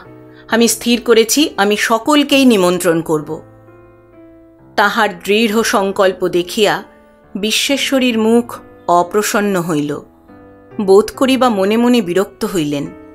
বলিলেন, তাহলে আমার হুকুম নিতে আসাটা তোমার শুধু একটা ছলনা মাত্র? জ্যাঠাইমার বিরক্তি রমেশ লক্ষ্য করিল, কিন্তু বিচলিত হইল না। খানিক পরে আস্তে আস্তে বলিল, আমি জানতুম জ্যাঠাইমা, যা অন্যায় নয়, আমার সে কাজে তুমি প্রসন্ন মনে আমাকে আশীর্বাদ করবে। আমার তাহার কথাটা শেষ হইবার পূর্বেই বিশ্বেশ্বরী বাধা দিয়া বলিয়া উঠিলেন, কিন্তু এটাও তো তোমার জানা উচিত ছিল রমেশ, যে আমার সন্তানের বিরুদ্ধে আমি যেতে পারব না। কথাটা রমেশকে আঘাত করিল, কারণ মুখে সে যাই বলুক, কেমন করিয়া তাহার সমস্ত অন্তঃকরণ কাল হইতে এই জ্যাঠাইমার কাছে সন্তানের দাবি করিতেছিল। এখন দেখিল, এ দাবির অনেক ঊর্ধ্বে তার আপন সন্তানের দাবি জায়গা জুড়িয়া আছে। সে ক্ষণকাল মাত্র চুপ করিয়া থাকিয়াই উঠিয়া দাঁড়াইয়া চাপা অভিমানের সুরে বলিল, কাল পর্যন্ত তাই জানতুম জ্যাঠাইমা। তাই তোমাকে তখন বলেছিলুম, যা পারি আমি একলা করি, তুমি এসো না। তোমাকে ডাকবার সাহসও আমার হয়নি। এই ক্ষুণ্ণ অভিমান জ্যাঠাইমার অগোচর রহিল না, কিন্তু আর জবাব দিলেন না, অন্ধকারে চুপ করিয়া বসিয়া রহিলেন। খানিক পরে রমেশ চলিয়া যাইবার উপক্রম করিতেই বলিলেন, তবে একটু দাঁড়াও বাছা, তোমার ভাড়ার ঘরের চাবিটা এনে দিই বলিয়া ঘরের ভিতর হইতে চাবি আনিয়া রমেশের পায়ের কাছে ফেলিয়া দিলেন। রমেশ কিছুক্ষণ স্তব্ধভাবে দাঁড়াইয়া থাকিয়া অবশেষে গভীর একটা নিঃশ্বাস ফেলিয়া চাবিটা তুলিয়া লইয়া আস্তে আস্তে চলিয়া গেল। ঘণ্টা কয়েক মাত্র পূর্বে সে মনে মনে বলিয়াছিল, আর আমার ভয় কি?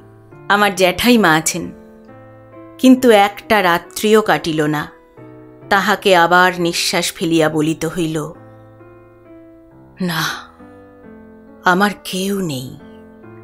জ্যাঠাইমাও আমাকে ত্যাগ করেছেন। বাহিরে এইমাত্র শ্রাদ্ধ শেষ হইয়া গিয়াছে।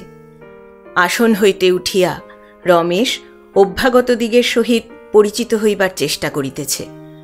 বাড়ির ভিতরে আহারের জন্য পাতা পাতিবার আয়োজন হইতেছে। এমন সময় একটা গোলমাল হাঁকাহাঁকি শুনিয়া রমেশ ব্যস্ত হইয়া ভিতরে আসিয়া উপস্থিত হইল। সঙ্গে সঙ্গে অনেকেই আসিল। ভিতরে রন্ধনশালার কপাটের এক পাশে একটি পঁচিশ ছাব্বিশ বছরের বিধবা মেয়ে জড়সড় হইয়া পিছন ফিরিয়া দাঁড়াইয়া আছে এবং আর একটি প্রৌঢ়া রমণী তাহাকে আগলাইয়া দাঁড়াইয়া ক্রোধে চোখ মুখ রক্তবর্ণ করিয়া চিৎকারে অগ্নিস্ফুলিঙ্গ বাহির করিতেছে। বিবাদ বাঁধিয়াছে পরাণ হালদারের সহিত।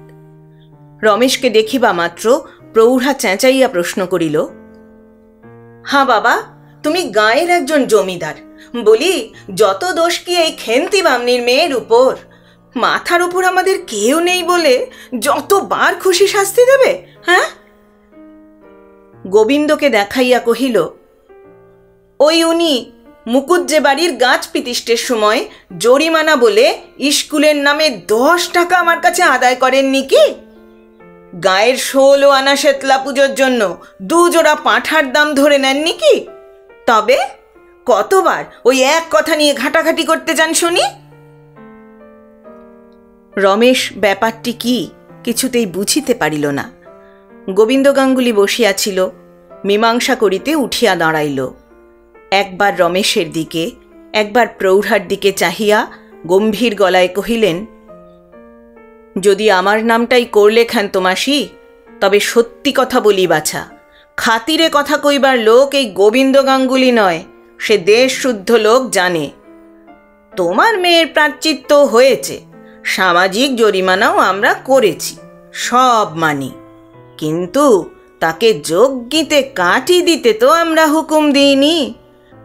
মরলে ওকে পোড়াতে আমরা কাঁদ দেব।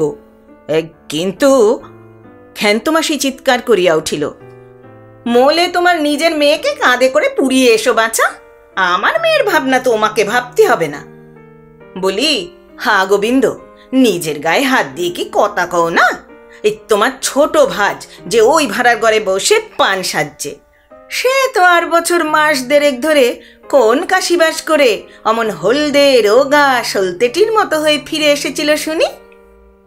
সে বড় লোকের বড় কথা বুঝি? বেশি ঘাঁটিও না বাপু, আমি সব জারি জুড়ি ভেঙে দিতে পারি হ্যাঁ। আমরাও ছেলে মেয়ে পেটে ধরেছি, আমরা চিনতে পারি, আমাদের চোখে ধুলো দেওয়া যায় না। গোবিন্দ খেপার মতো ঝাঁপাইয়া পড়িয়া বলিল তবে রে, হারামজাদা মাগি? কিন্তু হারামজাদা মাগি একটুও ভয় পাইল না, বরং এক পা আগাইয়া আসিয়া হাত মুখ ঘুরাইয়া কহিল, মারবি না কি রে? খেন্তি বামনিকে ঘাঁটালে ঠক বাজতে গা উজোর হয়ে যাবে, তা বলে দিচ্ছি। আমার মেয়ে তো রান্নাঘরে ঢুকতে যায়নি। দৌড় গোড়ায় আসতে না আসতে হালদার ঠাকুর বুঝি খামকা অপমান করে বসল, বলি তার বিয়ানের তাঁতি অপবাদ ছিল নাকি? আমি তো আর আজকের নই গো। বলি আরও বলব? না, এতেই হবে। রমেশ কাঠ হইয়া দাঁড়াইয়া রহিল। ভৈরব আচার্য ব্যস্ত হইয়া ক্ষেন্তর হাতটা প্রায় ধরিয়া ফেলিয়া সানুনয়ে কহিল, এতেই হবে মাসি, আর কাজ নেই। নে সুকুমারী, ওঠ মা, চল বাছা, আমার সঙ্গে ও ঘরে গিয়ে বসবি চল। পরাণ হালদার চাদর কাঁধে লইয়া সোজা খাড়া হইয়া উঠিয়া বলিল, এই বেশ্যে মাগিদের বাড়ি থেকে এক্কেবারে তাড়িয়ে না দিলে এখানে আমি জলগ্রহণ করব না, তা বলে দিচ্ছি। গোবিন্দ কালীচরণ তোমাদের মামাকে চাও তো উঠে এসো বলছি। বেইনি ঘোষাল যে তখন বলেছিল, মামা, যেও না ওখানে। এমন সব খানকি নটির কাণ্ড কারখানা জানলে? যার জন্ম খোয়াতে কি এবারই চৌকাট মারাই? কালি, উঠে এসো। মাতুলের পুনঃ পুনঃ আহ্বানেও কিন্তু কালীচরণ ঘাড় হেঁট করিয়া বসিয়া রহিল। সে পাটের ব্যবসা করে। বছর চারেক পূর্বে কলিকাতাবাসী তাহার এক গণ্যমান্য খরিদ্দার বন্ধু তাহার বিধবা ছোট ভগ্নীটিকে লইয়া প্রস্থান করিয়াছিল। ঘটনাটি গোপন ছিল না। হঠাৎ শ্বশুরবাড়ি যাওয়া এবং তথা হইতে তীর্থযাত্রা ইত্যাদি প্রসঙ্গে কিছুদিন চাপা ছিল মাত্র।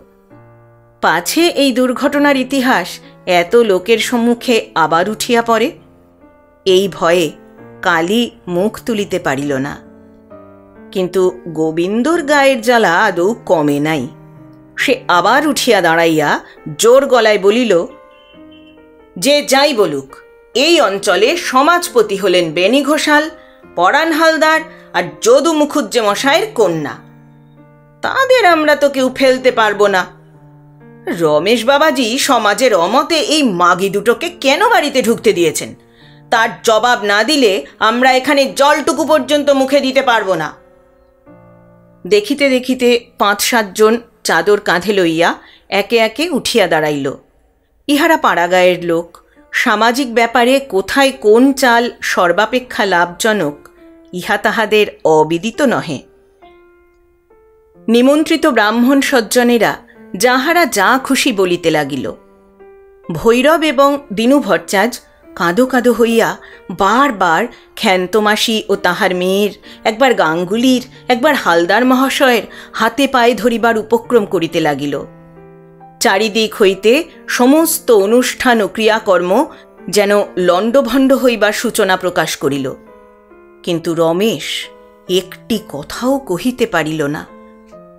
একে ক্ষুধায় তৃষ্ণায় নিতান্ত কাতর। তাহাতে অকস্মাৎ এই অভাবনীয় কাণ্ড। সে পাংশু মুখে কেমন যেন একরকম হতবুদ্ধির মতো স্তব্ধ হইয়া চাহিয়া রহিল। রমেশ অকস্মাৎ এক মুহূর্তে সমস্ত লোকের সচকিত দৃষ্টি এক হইয়া বিশ্বেশ্বরীর মুখের উপর গিয়া পড়িল। তিনি ভাঁড়ার হইতে বাহির হইয়া কপাটের সম্মুখে আসিয়া দাঁড়াইয়াছিলেন। তাহার মাথার উপর আঁচল ছিল, কিন্তু মুখখানি অনাবৃত। রমেশ দেখিল, জ্যাঠাইমা আপনিই কখন আসিয়াছেন? তাহাকে ত্যাগ করেন নাই। বাহিরের লোক দেখিল, ইনিই বিশ্বেশ্বরী ইনি ঘোষাল বাড়ির গিন্নিমা। পল্লীগ্রামে শহরের কড়া পর্দা নাই। তত্রাচ বিশ্বেশ্বরী বড় বাড়ির বধূ বলিয়াই হোক কিংবা অন্য যে কোনো কারণেই হোক যথেষ্ট বয়প্রাপ্তি সত্ত্বেও সাধারণত কাহারও সাক্ষাতে বাহির হইতেন না। সুতরাং সকলেই বড় বিস্মিত হইল। যাহারা শুধু শুনিয়াছিল, কিন্তু ইতিপূর্বে কখনো চোখে দেখে নাই তাহারা তাহার আশ্চর্য চোখ দুটির পানে চাহিয়া একেবারে অবাক হইয়া গেল। বোধ করি তিনি হঠাৎ ক্রোধবশেই বাহির হইয়া পড়িয়াছিলেন। সকলে মুখ তুলিবা মাত্রই তিনি তৎক্ষণাৎ থামের পার্শ্বে সরিয়া গেলেন।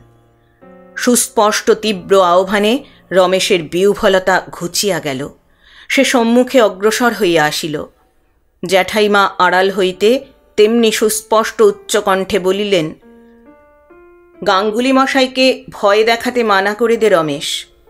আর হালদার মশাইকে আমার নাম করে বল যে আমি সবাইকে আদর করে বাড়িতে ডেকে এনেছি।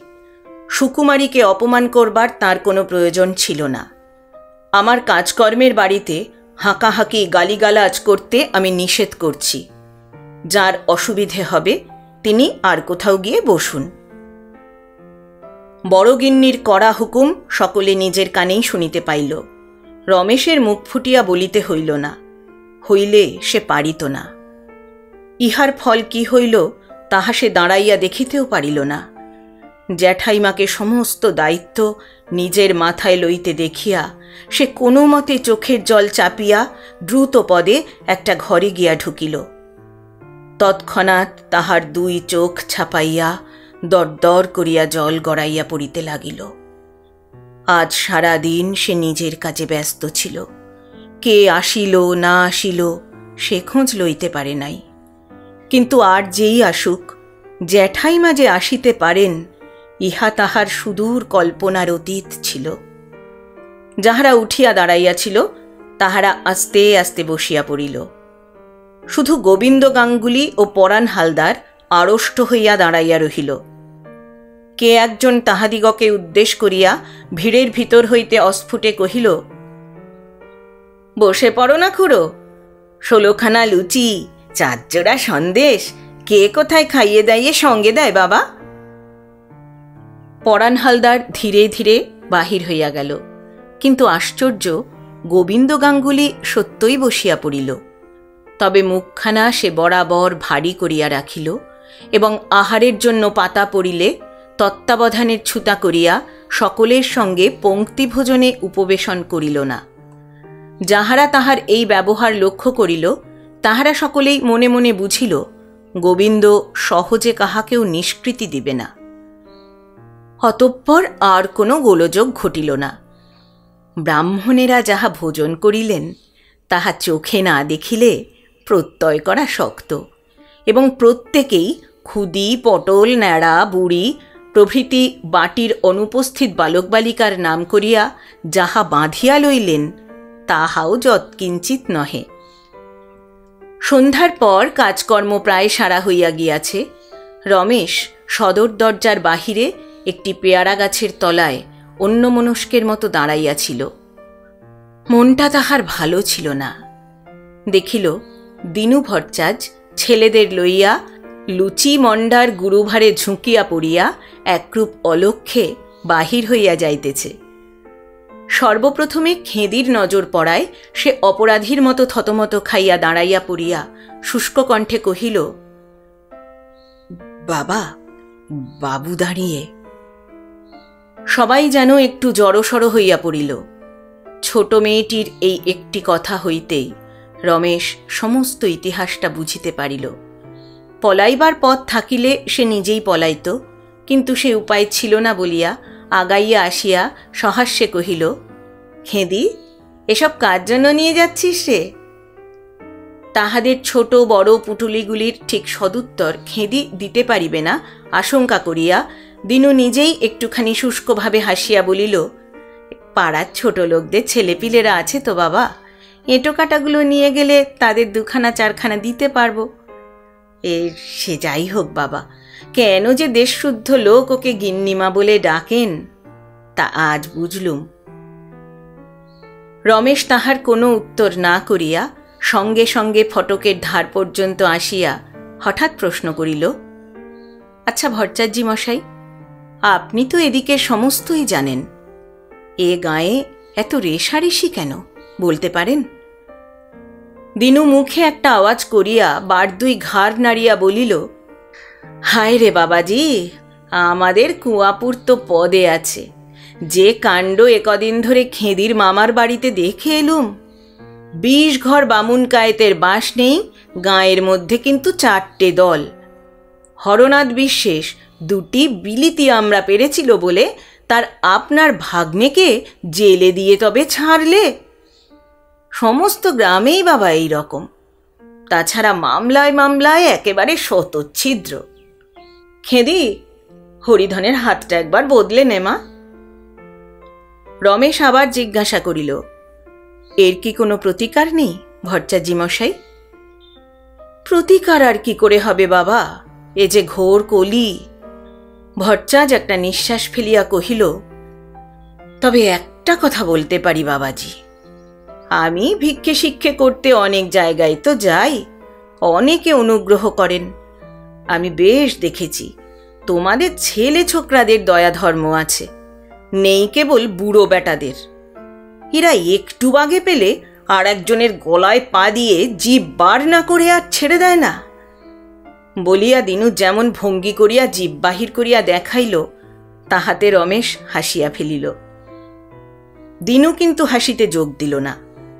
কহিল, হাসির কথা নয় বাবাজি, অতি সত্য কথা। আমি নিজেও প্রাচীন হয়েছি, কিন্তু তুমি যে অন্ধকারে অনেক দূর এগিয়ে এলে বাবাজি। তা হোক ভট্টাজি মশাই, আপনি বলুন, কি আর বলব বাবা, পাড়াগা মাত্রই এই রকম। এই গোবিন্দ গাঙ্গুলি, এ বেটার পাপের কথা মুখে আনলে প্রায়শ্চিত্ত করতে হয়। খেন্তি বামনি তো আর মিথ্যে বলেনি, কিন্তু সবাই ওকে ভয় করে। জাল করতে, মিথ্যে সাক্ষী দিতে, মিথ্যে মোকদ্দমা সাজাতে ওর জুড়ি নেই। বেনিবাবুর হাত ধরা, কাজেই কেউ একটি কথা কইতে সাহস করে না। বরঞ্চ ওই পাঁচজনের জাত মেরে বেড়ায়।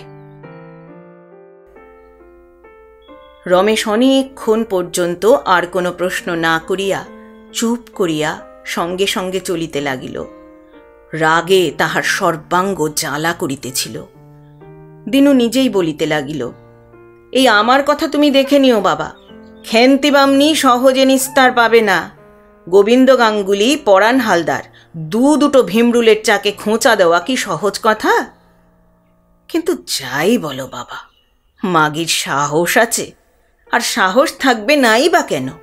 মুড়ি বেচে খায় সব ঘরে যাতায়াত করে। সকলের সব কথা টের পায়। ওকে ঘাটালে কেলেঙ্কারি সীমা পরিসীমা থাকবে না তা বলে দিচ্ছি। অনাচারার কোন ঘরে নেই বলো। বেনিবাবুকেও রমেশ সভয়ে বাধা দিয়া বলিল, থাক, বর্দার কথায় আর কাজ নেই দিনু অপ্রতিভ হইয়া উঠিল। কহিল, থাক বাবা, আমি দুঃখী মানুষ, কারও কথায় আমার কাজ নেই। কেউ যদি বেনিবাবুর কানে তুলে দেয়, তো আমার ঘরে আগুন। রমেশ আবার বাধা দিয়া কহিল, ভট্টাজি মশাই, আপনার বাড়ি কি আরও দূরে? না বাবা, বেশি দূর নয়, এই বাঁধের পাশেই আমার কুঁড়ে। কোনোদিন যদি আসব বই কি, নিশ্চয়ই আসব। বলিয়া রমেশ ফিরিতে উদ্যত হইয়া কহিল, আবার কাল সকালেই তো দেখা হবে কিন্তু তারপরেও মাঝে মাঝে পায়ের ধুলো দেবেন। বলিয়া রমেশ ফিরিয়া গেল। দীর্ঘজীবী হও বাবা, বাপের মতো হও। বলিয়া, দিনু ভট্টাচ অন্তরের ভিতর হইতে আশীর্বচন করিয়া ছেলে পুলে লইয়া চলিয়া গেল। এ পাড়ার একমাত্র মধুপালের মুদির দোকান নদীর পথে হাটের একধারে। দশ বারো দিন হইয়া গেল অথচ সে বাকি দশ টাকা লইয়া যায় নাই। তাই রমেশ কি মনে করিয়া নিজেই একদিন সকালবেলা দোকানের উদ্দেশ্যে বাহির হইয়া পড়িল। মধুপাল মহা সমাদর করিয়া ছোটবাবুকে বারান্দার উপর মোড়া পাতিয়া বসাইল এবং ছোটবাবুর আসিবার হেতু শুনিয়া গভীর আশ্চর্যে অবাক হইয়া গেল। যে ধারে সে উপযাজক হইয়া ঘর বহিয়া ঋণ শোধ করিতে আসে তাহা মধুপাল এতটা বয়সে কখনো চোখে তো দেখেই নাই, কানেও শোনে নাই। কথায় কথায় অনেক কথা হইল। মধু কহিল, দোকান কেমন করে চলবে বাবু? দুয়ানা চারানা, এক টাকা, পাঁচ শিকে, এই করে প্রায় পঞ্চাশ ষাট টাকা বাকি পড়ে আছে। এই টাকা দিয়ে যাচ্ছি, বলে দু মাসেও আদায় হবার জো নেই। এ কি? বারুদ যে মশাই যে! কবে এলেন? প্রাতপ্যের নাম হই। বারুজ্জে মশাইয়ের বাঁ হাতে একটা গাড়ু পায়ে নখে গোড়ালিতে কাদার দাগ, কানে পইতে জড়ানো, ডান হাতে কচু পাতায় মোড়া চারটে কুচো চিংড়ি। তিনি ফোঁস করিয়া একটি নিঃশ্বাস ফেলিয়া বলিলেন, কাল রাত্রিরে এলুম। তামাক খা দিকি মধু। বলিয়া গাড়ু রাখিয়া হাতের চিংড়ি মেলিয়া ধরিয়া বলিলেন সৈর বিজেলেনির আক্কেল দেখলি মধু? খপ করে হাতটা আমার ধরে ফেললে? কালে কালে কি হলো বল দেখি রে। এই কি এক পয়সার চিংড়ি? বামুনকে ঠকিয়ে ককাল খাবি মাগি? উচ্ছন্নে যেতে হবে না? মধু বিস্ময় প্রকাশ করিয়া কহিল, হাত ধরে ফেললে আপনার? ক্রুদ্ধ বারুজ্যে মশাই একবার চারিদিকে দৃষ্টিপাত করিয়া উত্তেজিত হইয়া কহিলেন আড়াইটি পয়সা শুধু বাকি। তাই বলে খামোকা হাট শুদ্ধ লোকের সামনে হাত ধরবে আমার? কে না দেখলে বল? মাঠ থেকে বসে এসে গাড়ুটি মেজে নদীতে হাত পা ধুয়ে মনে করলুম হাতটা একবার ঘুরে যাই। মাগি এক চুবড়ি মাছ নিয়ে বসে, আমাকে স্বচ্ছন্দে বলে কি না? কিছু নেই ঠাকুর, যা ছিল সব উঠে গেছে। আরে, আমার চোখে ধুলো দিতে পারিস? ডালাটা ফস করে তুলে ফেলতেই দেখি না। অমনি ফস করে হাতটা চেপে ধরে ফেললে। তোর সেই আড়াইটা আর আজকের একটা। এই সাড়ে তিনটে পয়সা নিয়ে আমি গা ছেড়ে পালাবো? কি বলিস মধু? মধু সাই দিয়া কহিল তাও কি হয়? তবে তাই বল না। গায়ে কি শাসন আছে? নইলে ওই ষষ্ঠে জেলের থোপা নাপতে বন্ধ করে চাল কেটে তুলে দেওয়া যায় না হ্যাঁ? হঠাৎ রমেশের প্রতি চাহিয়া প্রশ্ন করিলেন, বাবুটিকে মধু? মধু সগর্বে কহিল, আমাদের ছোট বাবুর ছেলে যে, সেদিনের দশ টাকা বাকি ছিল বলে নিজে বাড়ি বয়ে দিতে এসেছেন। বারুজ্জে মশাই কুঁচো চিংড়ির অভিযোগ ভুলিয়া দুই চক্ষু বিস্ফারিত করিয়া কহিলেন হ্যাঁ? রমেশ বাবাজি? বেঁচে থাকো বাবা। বেঁচে থাকো। হ্যাঁ এসে শুনলুম, একটা কাজের মতো কাজ করেছে বটে। এমন খাওয়া দাওয়া এই অঞ্চলে কখনো হয়নি। কিন্তু বড় দুঃখ রইল, চোখে দেখতে পেলুম না। পাঁচশালার ধাপ্পায় পড়ে কলকাতায় চাকরি করতে গিয়ে হাড়ির হাল।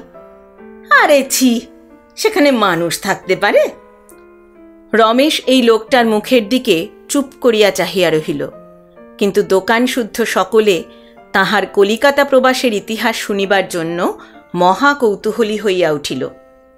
তামাক সাজিয়া মধু দোকানি বারুজ্যের হাতে হুঁকাটা তুলিয়া দিয়া প্রশ্ন করিল, তারপরে একটা চাকরি বাকরি হয়েছিল তো? হবে না, এ কি ধান দিয়ে লেখাপড়া শেখা আমার? হলে হবে কি, সেখানে কে থাকতে পারে বল? যেমনি ধোঁয়া, তেমনি কাদা। বাইরে বেরিয়ে গাড়ি ঘোড়া চাপা না পড়ে যদি ঘরে ফিরতে পারিস, তো জানবি তোর বাপের পুণ্যি। মধু কখনো কলিকাতায় যায় নাই। মেদিনীপুর শহরটা একবার সাক্ষ্য দিতে গিয়া দেখিয়া আসিয়াছিল মাত্র। সে ভারী আশ্চর্য হইয়া কহিল, বলেন কি? বারুদ যে ঈষৎ হাসিয়া কহিলেন, তোর রমেশবাবুকে জিজ্ঞাসা কর না, সত্যি কি মিথ্যে? না মধু খেতে না পাই, বুকে হাত দিয়ে পড়ে থাকব সেও ভালো। কিন্তু বিদেশ যাবার নামটি যেন কেউ আমার কাছে আর না করে। বললে বিশ্বাস করবি না? সেখানে শুশনি, কলমি শাক, চালতা, আমড়া, থোর, মোচা, সব কিনে খেতে হয়। পারবি খেতে? এই একটি মাস না খেয়ে খেয়ে যেন রোগা ইঁদুরটি হয়ে গেছি। দিবারাত্রি পেট ফুটফাট করে, বুক জ্বালা করে, প্রাণাই ঢাই করে। পালিয়ে এসে তবে হাঁপ ছেড়ে বাঁচি। না বাবা, নিজের গায়ে বসে জোটে একবেলা এক সন্ধ্যা খাব, না জোটে ছেলে মেয়েদের হাত ধরে ভিক্ষে করব। বামুনের ছেলে তাতে কিছু লজ্জার নেই। কিন্তু মা লক্ষ্মী আমার মাথায় থাকুক, বিদেশে কেউ যেন না যায়। তাহার কাহিনী শুনিয়া সকলে যখন সভয়ে নির্বাক হইয়া গিয়াছে, তখন বারুজ্যে উঠিয়া আসিয়া মধুর তেলের ভাঁড়ের ভিতরে উর্খি ডুবাইয়া এক ছটাক তেল বাঁ হাতের তেলই লইয়া, অর্ধেকটা দুই নাক ও কানের গর্তে ঢালিয়া বাকিটা মাথায় মাখিয়া ফেলিলেন। ও কহিলেন, বেলা হয়ে গেল, অমনি ডুবটা দিয়ে একবারে ঘরে যাই। এক পয়সা নুন দে দেখি মধু, পয়সাটা বিকেলবেলা দিয়ে যাব। আবার বিকেলবেলা? বলিয়া মধু অপ্রসন্ন মুখে নুন দিতে তাহার দোকানে উঠিল। বারুদ যে গলা বাড়াইয়া দেখিয়া বিস্ময় বিরক্তিস্বরে কহিয়া উঠিলেন, তোরা সব হলি কি মধু? এ যে গালে চর মেরে পয়সা নিস দেখি? বলিয়া আগাইয়া আসিয়া নিজেই এক খামচা নুন তুলিয়া ঠোঙায় দিয়া সেটা টানিয়া লইলেন। গাড়ু হাতে করিয়া রমেশের প্রতি চাহিয়া মৃদু হাসিয়া বলিলেন, ওই তো একই পথ। চলো না বাবাজি, গপ্প করতে করতে যাই। চলুন, বলিয়া রমেশ উঠিয়া দাঁড়াইল। মধু দোকানি অনতি দূরে দাঁড়াইয়া করুণ কণ্ঠে কহিল বারুজ্জে মশাই, সেই ময়দার পয়সা পাঁচ আনা কি অমনি? বারুজ্জে রাগিয়া উঠিল, হারে মধু, দুবেলা চোখাচোখি হবে, তোদের কি চোখের চামড়া পর্যন্ত নেই? পাঁচ বেটা বেটির মতলবে কলকাতায় যাওয়া আশা করতে পাঁচ পাঁচটা টাকা আমার গলে গেল? আর এই কি তোদের তাগাদা দেবার সময় হলো? কারও সর্বনাশ, কারও পৌষ মাস। দেখলে বাবা রমেশ? এদের ব্যবহারটা একবার দেখলে? মধু এতটুকু হইয়া গিয়া অস্ফুটে বলিতে গেল, অনেক দিনের। হলেই বা অনেক দিনের। এমন করে সবাই মিলে পিছনে লাগলে তো আর গায়ে বাস করা যায় না। বলিয়া বারুজ্জে একরকম রাগ করিয়াই নিজের জিনিসপত্র লইয়া চলিয়া গেলেন। রমেশ ফিরিয়া আসিয়া বাড়ি ঢুকিতেই এক ভদ্রলোক শশব ব্যস্তে হাতের হুঁকাটা একপাশে রাখিয়া দিয়া একেবারে পায়ের কাছে আসিয়া তাহাকে প্রণাম করিল। উঠিয়া কহিল, আমি বনমালী পারুই, আপনাদের স্কুলের হেডমাস্টার। দুদিন এসে সাক্ষাৎ পাইনি। তাই বলি, রমেশ সমাদর করিয়া পারুই মহাশয়কে চেয়ারে বসাইতে গেল। কিন্তু সে সসম্ভ্রমে দাঁড়াইয়া রহিল। কহিল আগে, আমি যে আপনার ভৃত্য। লোকটা বয়সে প্রাচীন এবং আর যাই হোক, একটা বিদ্যালয়ের শিক্ষক। তাহার এই অতি বিনীত কুণ্ঠিত ব্যবহারে রমেশের মনের মধ্যে একটা অশ্রদ্ধার ভাব জাগিয়া উঠিল।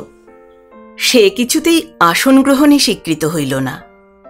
খাড়া দাঁড়াইয়া নিজের বক্তব্য কহিতে লাগিল। এদিকের মধ্যে এই একটা অতি ছোট রকমের স্কুল মুখুজ্জে ও ঘোষালদের যত্নে প্রতিষ্ঠিত হইয়াছিল। প্রায় ত্রিশ চল্লিশ জন ছাত্র পড়ে। দুই তিন ক্রোশ দূর হইতেও কেহ কেহ আসে। যৎকিঞ্চিত গভর্নমেন্ট সাহায্য আছে। তথাপি স্কুল আর চলিতে চাহিতেছে না। ছেলে বয়সে এই বিদ্যালয়ে রমেশও কিছুদিন পড়িয়াছিল, তাহার স্মরণ হইল। পারুই মহাশয় জানাইল যে চাল ছাওয়া না হইলে আগামী বর্ষায় বিদ্যালয়ের ভিতর আর কেহ বসিতে পারিবে না। কিন্তু সে না হয় পরে চিন্তা করিলে চলিবে।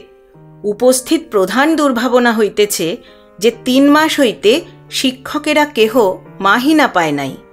সুতরাং ঘরের খাইয়া বন্য মহিষ তাড়াইয়া বেড়াইতে আর কেহ পারিতেছে না। স্কুলের কথায় রমেশ একেবারে সজাগ হইয়া উঠিল। হেডমাস্টার মহাশয়কে বৈঠকখানায় লইয়া গিয়া একটি একটি করিয়া সমস্ত সংবাদ গ্রহণ করিতে লাগিল। মাস্টার পণ্ডিত চারিজন এবং তাহাদের হাড় ভাঙা খাটুনির ফলে গড়ে দুইজন করিয়া ছাত্র প্রতি বৎসর মাইনর পরীক্ষায় পাশ করিয়াছে। তাহাদের নাম, ধাম, বিবরণ পারুই মহাশয় মুখস্থর মতো আবৃত্তি করিয়া দিলেন। ছেলেদের নিকট হইতে যাহা আদায় হয়, তাহাতে নিচের দুজন শিক্ষকের কোনো মতে ও গভর্নমেন্টের সাহায্যে আর একজনের সংকুলান হয়। শুধু একজনের মাহিনাটাই গ্রামের ভিতরে এবং বাহিরে চাঁদা তুলিয়া সংগ্রহ করিতে হয়। এই চাঁদা সাধিবার ভারও মাস্টারদের উপরেই। তাহারা গত তিন চারি মাস কাল ক্রমাগত ঘুরিয়া ঘুরিয়া প্রত্যেক বাটিতে আট, দশ বার করিয়া হাঁটাহাঁটি করিয়াও সাত টাকা চারি আনার বেশি আদায় করিতে পারেন নাই। কথা শুনিয়া রমেশ স্তম্ভিত হইয়া গেল। পাঁচ, ছয়টা গ্রামের মধ্যে এই একটা বিদ্যালয় এবং এই পাঁচ, ছয়টা গ্রামময় তিন মাসকাল ক্রমাগত ঘুরিয়া মাত্র সাত টাকা চারিয়ানা আদায় হইয়াছে। রমেশ প্রশ্ন করিল আপনার মাহিনা কত? মাস্টার কহিল, রসিদ দিতে হয় ছাব্বিশ টাকার, পাই তেরো টাকা পনেরো আনা। কথাটা রমেশ ঠিক বুঝিতে পারিল না। তাহার মুখপানে চাহিয়া রহিল। মাস্টার তাহা বুঝাইয়া দিলেন। আগে গভর্নমেন্টের হুকুম কিনা তাই ছাব্বিশ টাকার রসিদ লিখে দিয়ে সাব ইন্সপেক্টর বাবুকে দেখাতে হয়। নইলে সরকারি সাহায্য বন্ধ হয়ে যায়। সবাই জানে। আপনি কোনো ছাত্রকে জিজ্ঞাসা করলেও জানতে পারবেন। আমি মিথ্যে বলছি নে। রমেশ অনেকক্ষণ চুপ করিয়া থাকিয়া জিজ্ঞাসা করিল, এতে ছাত্রদের কাছে আপনার সম্মানহানি হয় না? মাস্টার লজ্জিত হইল। কহিল, কি করব রমেশবাবু? বেনিবাবু এ কয়টি টাকাও দিতে নারাজ। তিনি কর্তা বুঝি? মাস্টার একবার একটুখানি দ্বিধা করিল, কিন্তু তাহার না বলিলেই নয়। তাই সে ধীরে ধীরে জানাইল যে, তিনি সেক্রেটারি বটে, কিন্তু তিনি একটি পয়সাও কখনো খরচ করেন না। যদু মুখুজ্জে মহাশয়ের কন্যা, সতীলক্ষ্মী তিনি। তার দয়া না থাকিলে স্কুল অনেক দিন উঠিয়া যাইত। এ বৎসরই নিজের খরচে চাল ছাইয়া দিবেন আশা দিয়াও হঠাৎ কেন যে সমস্ত সাহায্য বন্ধ করিয়া দিয়াছেন, তাহার কারণ কেহই বলিতে পারে না। রমেশ কৌতূহলী হইয়া রমার সম্বন্ধে আরও কয়েকটি প্রশ্ন করিয়া শেষে জিজ্ঞাসা করিল, তার একটি ভাই এই স্কুলে পড়ে না? মাস্টার কহিল, যতীন তো পরে বই কি? রমেশ বলিল, আপনার স্কুলের বেলা হয়ে যাচ্ছে, আজ আপনি যান কাল আমি আপনাদের ওখানে যাব। যে আজ্ঞে, বলিয়া হেডমাস্টার আর একবার রমেশকে প্রণাম করিয়া, জোর করিয়া তাহার পায়ের ধুলা মাথায় লইয়া বিদায় হইল।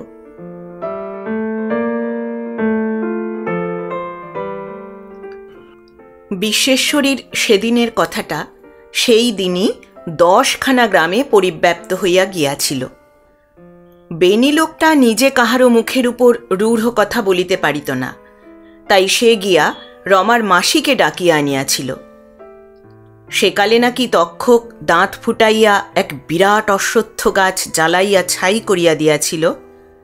এই মাসিটিও সেদিন সকালবেলায় ঘরে চড়িয়া যে বিষ উদ্গীর্ণ করিয়া গেলেন, তাহাতে বিশ্বেশ্বরীর রক্তমাংসের দেহটা কাঠের নয় বলিয়াই হোক কিংবা একাল সেকাল নয় বলিয়াই হোক, জ্বলিয়া ভস্যস্তূপে পরিণত হইয়া গেল না।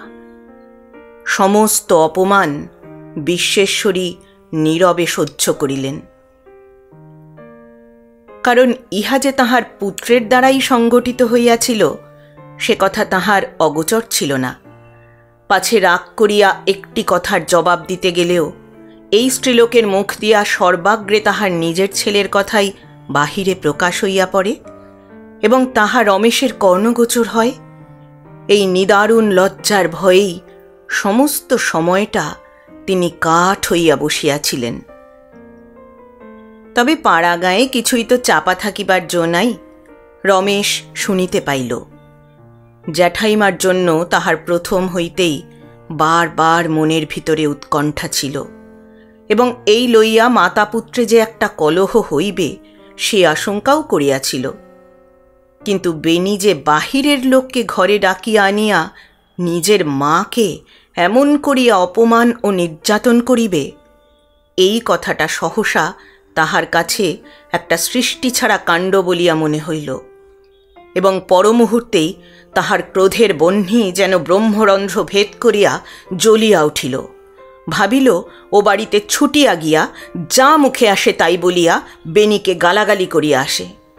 কারণ যে লোক মাকে এমন করিয়া অপমান করিতে পারে, তাহাকেও অপমান করা সম্বন্ধে কোনরূপ বাছ বিচার করিবার আবশ্যকতা নাই। কিন্তু পরক্ষণেই মনে হইল, তাহা হয় না। কারণ জ্যাঠাইমার অপমানের মাত্রা তাহাতে বাড়িবে বই কমিবে না। সেদিন দিনুর কাছে এবং কাল মাস্টারের মুখে শুনিয়া রমার প্রতি তাহার ভারী একটা শ্রদ্ধার ভাব জাগিয়াছিল। চতুর্দিকে পরিপূর্ণ মূঢ়তা ও সহস্র প্রকার কদর্য ক্ষুদ্রতার ভিতরে এক জ্যাঠাইমার হৃদয়টুকু ছাড়া সমস্ত গ্রামটাই আধারে ডুবিয়া গিয়াছে বলিয়া যখন তাহার নিশ্চয় বিশ্বাস হইয়াছিল, তখন এই মুখুজ্জে বাটির পানে চাহিয়া একটুখানি আলোর আভাস। তাহা যত তুচ্ছ এবং ক্ষুদ্র হোক, তাহার মনের মধ্যে বড় আনন্দ দিয়াছিল। কিন্তু আজ আবার এই ঘটনায় তাহার বিরুদ্ধে সমস্ত মন ঘৃণায় ও বিতৃষ্ণায় ভরিয়া গেল। বেনির সঙ্গে যোগ দিয়া এই দুই মাসি ও বঞ্ঝিতে মিলিয়া যে অন্যায় করিয়াছে, তাহাতে তাহার বিন্দুমাত্র সংশয় রহিল না। কিন্তু এই দুইটা স্ত্রীলোকের বিরুদ্ধেই বা সে কি করিবে? এবং বেনিকেই বা কি করিয়া শাস্তি দিবে? তাহাও কোনো মতে ভাবিয়া পাইল না। এমন সময় একটা কাণ্ড ঘটিল। মুখুজ্জে ও ঘোষালদের কয়েকটা বিষয় এখনও পর্যন্ত ভাগ হয় নাই। আচার্যদের বাটির পিছনে গড় বলিয়া পুষ্করিণীটাও এইরূপ উভয়ের সাধারণ সম্পত্তি। একসময় ইহা বেশ বড়ই ছিল। ক্রমশ সংস্কার অভাবে বুঝিয়া গিয়া এখন সামান্য একটা ডোবায় পরিণত হইয়াছিল। ভালো মাছ ইহাতে ছাড়া হইত না। কই, মাগুর, প্রভৃতি যে সকল মাছ আপনি জন্মায়, তাহাই কিছু ছিল। ভৈরব হাঁপাইতে হাঁপাইতে আসিয়া উপস্থিত হইল। বাহিরে চণ্ডীমণ্ডপের পাশের ঘরে গোমস্তা গোপাল সরকার খাতা লিখিতেছিল। ভৈরব ব্যস্ত হইয়া কহিল সরকার মশাই লোক পাঠাননি। গড় থেকে মাছ ধরানো হচ্ছে যে। সরকার কলম কানে গুঁজিয়া মুখ তুলিয়া প্রশ্ন করিল, কে ধরাচ্ছে? আবার কে? বেনিবাবুর চাকর দাঁড়িয়ে আছে। মুখুজ্জেদের খোট্টা দারোয়ানটাও আছে দেখলুম। নেই কেবল আপনাদের লোক। শিগগির পাঠান। গোপাল কিছুমাত্র চাঞ্চল্য প্রকাশ করিল না। আমাদের বাবু মাছ মাংস খান না। ভৈরব কহিল, নাই খেলেন, কিন্তু ভাগের ভাগ নেওয়া চাইত গোপাল বলিল, আমরা পাঁচজন তো চাই, বাবু বেঁচে থাকলে তিনিও তাই চাইতেন। কিন্তু রমেশবাবু একটু আলাদা ধরনের, বলিয়া ভৈরবের মুখে বিস্ময়ের চিহ্ন দেখিয়া সহাস্যে একটুখানি শ্লেষ করিয়া কহিল, এ তো তুচ্ছ দুটো শিঙি মাগুর মাছ মশাই। সেদিন হাটের উত্তর দিকে সেই প্রকাণ্ড তেঁতুল গাছটা কাটিয়ে ওরা দু ঘরে ভাগ করে নিলেন। আমাদের কাঠের একটা কুচোও দিলেন না। আমি ছুটে এসে বাবুকে জানাতে তিনি বই থেকে একবার একটু মুখ তুলে হেসে আবার পড়তে লাগলেন। জিজ্ঞেস করলুম, কি করব বাবু? আমার রমেশবাবু আর মুখটা একবার তুলবারও ফুরসত পেলেন না। তারপর পিড়াপিড়ি করতে বইখানা মুড়ে রেখে একটা হাই তুলে বললেন, কাঠ তার কি তেঁতুল গাছ নেই?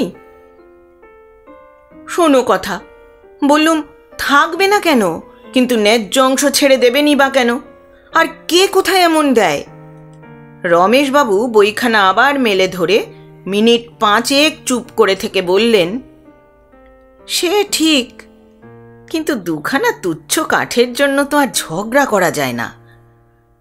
ভৈরব অতিশয় বিস্ময়াপন্ন হইয়া কহিল, বলেন কি? গোপাল সরকার মৃদু হাসিয়া বার দুই মাথা নাড়িয়া কহিল, বলি ভালো আচার্যি মশাই বলি ভালো, আমি সেই দিন থেকে বুঝেছি, আর মিছে কেন? ছোট তরফের মা লক্ষ্মী তারিণী ঘোষালের সঙ্গেই অন্তর্ধান হয়েছেন।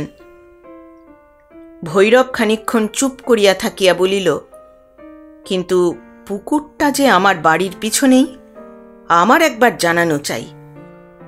গোপাল কহিল, বেশ তো ঠাকুর, একবার জানিয়েই এসো না। দিবারাত্র বই নিয়ে বসে থাকলে আর শরিকদের এত ভয় করলে কি বিষয় সম্পত্তি রক্ষে হয়? যদু মুখুজ্জের কন্যা, স্ত্রীলোক, সে পর্যন্ত শুনে হেসে কুটিপাটি। গোবিন্দ গাঙ্গুলিকে ডেকে সেদিন নাকি তামাশা করে বলেছিল, রমেশবাবুকে বলো, একটা মাসোহারা নিয়ে বিষয়টা আমার হাতে দিতে। এর চেয়ে লজ্জা আর আছে? বলিয়া গোপাল রাগে, দুঃখে মুখখানা বিকৃত করিয়া নিজের কাজে মন দিল। বাড়িতে স্ত্রীলোক নাই, সর্বত্রই অবারিত দ্বার। ভৈরব ভিতরে আসিয়া দেখিল, রমেশ সামনের বারান্দায় একখানা ভাঙা ইজি চেয়ারের উপর পড়িয়া আছে।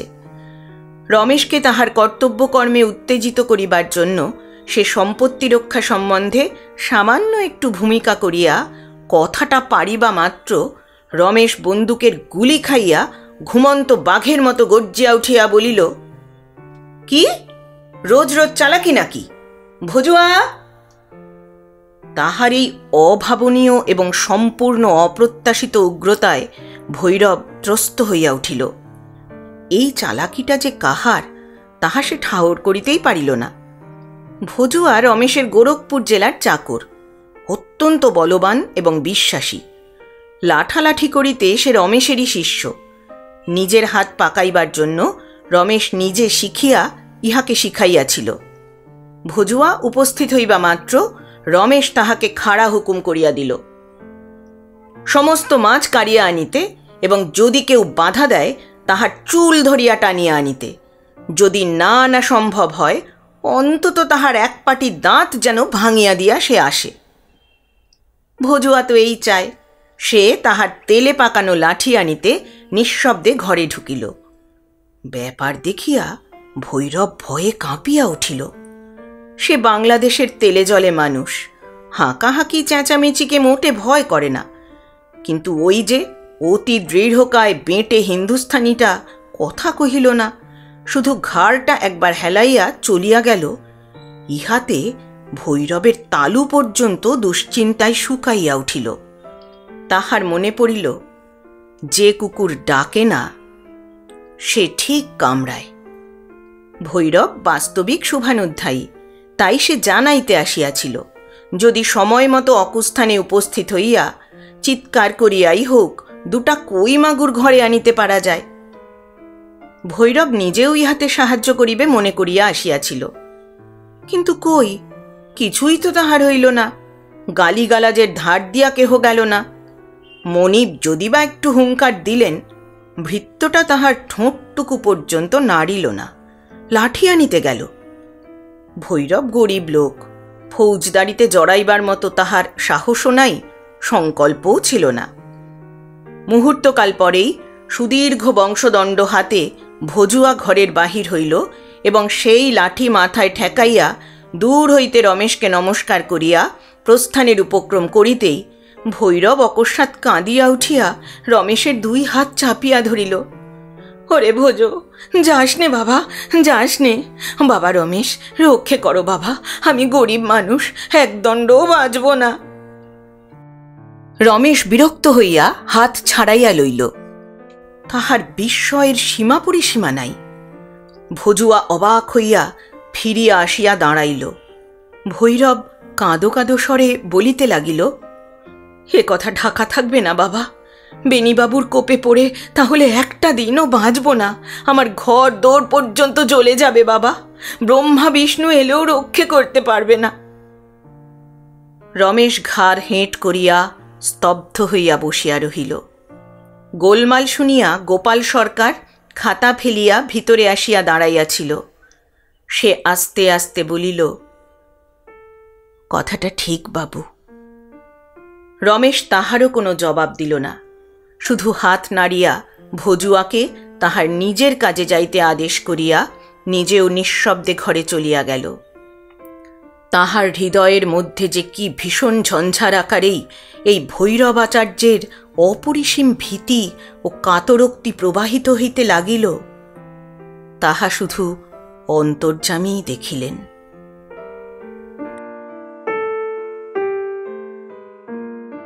হ্যাঁ রে যতীন খেলা করছিস?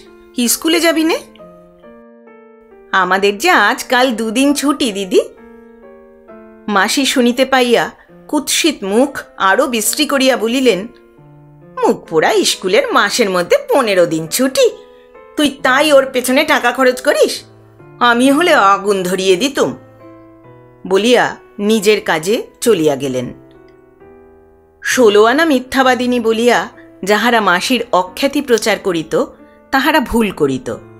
এমনি এক আধটা সত্য কথা বলিতেও তিনি পারিতেন এবং আবশ্যক হইলে করিতেও পশ্চাৎপদ হইতেন না।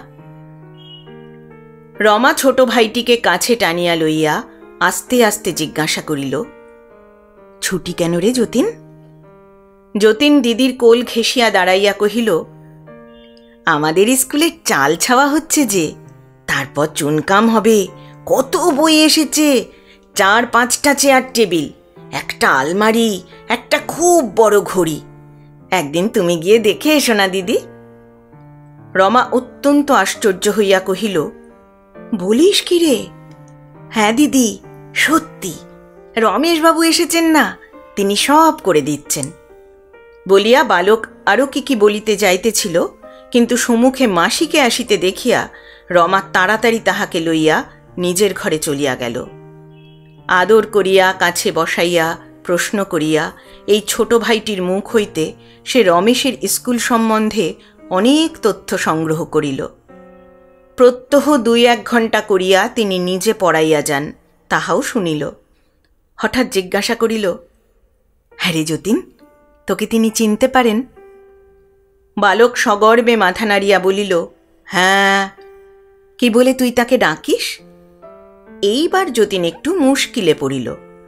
কারণ এতটা ঘনিষ্ঠতার সৌভাগ্য এবং সাহস আজও তাহার হয় নাই।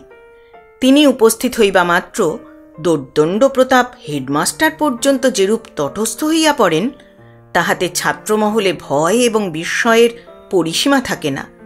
ডাকা তো দূরের কথা, ভরসা করিয়া ইহারা কেহ তাহার মুখের দিকে চাহিতেই পারে না। কিন্তু দিদির কাছে স্বীকার করাও তো সহজ নহে। ছেলেরা মাস্টারদিগকে ছোটবাবু বলিয়া ডাকিতে শুনিয়াছিল। তাই সে বুদ্ধি খরচ করিয়া কহিল, আমরা ছোটবাবু বলি। কিন্তু তাহার মুখের ভাব দেখিয়া রমার বুঝিতে কিছু বাকি রহিল না। সে ভাইকে আরও একটু বুকের কাছে টানিয়া লইয়া সহাস্যে কহিল, ছোটবাবু কি রে? তিনি যে তোর দাদা হন। বেনিবাবুকে যেমন বড়দা বলে ডাকিস, একে তেমনি ছোটদা বলে ডাকতে পারিস নে? বালক বিস্ময়ে, আনন্দে চঞ্চল হইয়া উঠিল। আমার দাদা হন তিনি? সত্যি বলছো দিদি? তাই তো হয় রে, বলিয়া রমা আবার একটু হাসিল। আর যতীনকে ধরিয়া রাখা শক্ত হইয়া উঠিল। খবরটা সঙ্গীদের মধ্যে এখনই প্রচার করিয়া দিতে পারিলেই সে বাঁচে। কিন্তু স্কুল যে বন্ধ এই দুটা দিন তাহাকে কোনো মতে ধৈর্য ধরিয়া থাকিতেই হইবে। তবে যে সকল ছেলেরা কাছাকাছি থাকে, অন্তত তাহাদিগকে না বলিয়াই বা সে থাকে কি করিয়া? সে আর একবার ছটফট করিয়া বলিল, এখন যাব, দিদি। এত বেলায় কোথায় যাবি রে? বলিয়া রমা তাহাকে ধরিয়া রাখিল। যাইতে না পারিয়া যতীন খানিক্ষণ অপ্রসন্ন মুখে চুপ করিয়া থাকিয়া জিজ্ঞাসা করিল এতদিন তিনি কোথায় ছিলেন, দিদি? রমা স্নিগ্ধ স্বরে কহিল, এতদিন লেখাপড়া শিখতে বিদেশে ছিলেন। তুই বড় হলে তোকেও এমনি বিদেশে গিয়ে থাকতে হবে। আমাকে ছেড়ে পারবি থাকতে, যতীন? বলিয়া ভাইটিকে সে আর একবার বুকের কাছে আকর্ষণ করিল। বালক হইলেও সে তাহার দিদির কণ্ঠস্বরে কীরকম একটা পরিবর্তন অনুভব করিয়া বিস্মিতভাবে মুখপানে চাহিয়া রহিল। কারণ রমা তাহার এই ভাইটিকে প্রাণতুল্য ভালোবাসিলেও তাহার কথায় এবং ব্যবহারে এরূপ আবেগ উচ্ছ্বাস কখনো প্রকাশ পাইত না। যতীন প্রশ্ন করিল ছোটদার সমস্ত পড়া শেষ হয়ে গেছে, দিদি? রমা তেমনি স্নেহকোমল কণ্ঠে জবাব দিল হ্যাঁ ভাই তার সব পড়া সাঙ্গ হয়ে গেছে। যতীন আবার জিজ্ঞাসা করিল, কি করে তুমি জানলে? প্রত্যুত্তরে রমা শুধু একটা নিঃশ্বাস ফেলিয়া মাথা নাড়িল বস্তুত এ সম্বন্ধে সে কিংবা গ্রামের আর কেহ কিছুই জানিত না। তাহার অনুমান যে সত্য হইবেই, তাহাও নয়।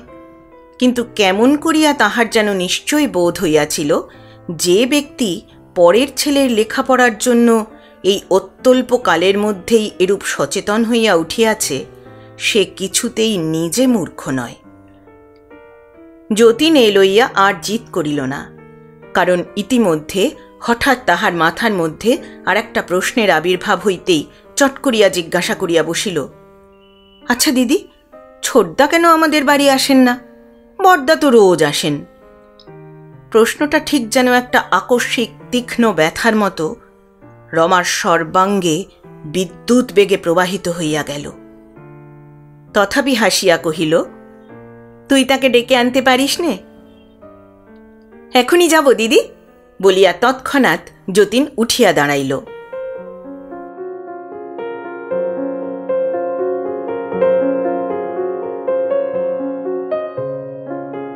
এতক্ষণ শুনলেন পল্লী সমাজ উপন্যাসের প্রথম পর্ব।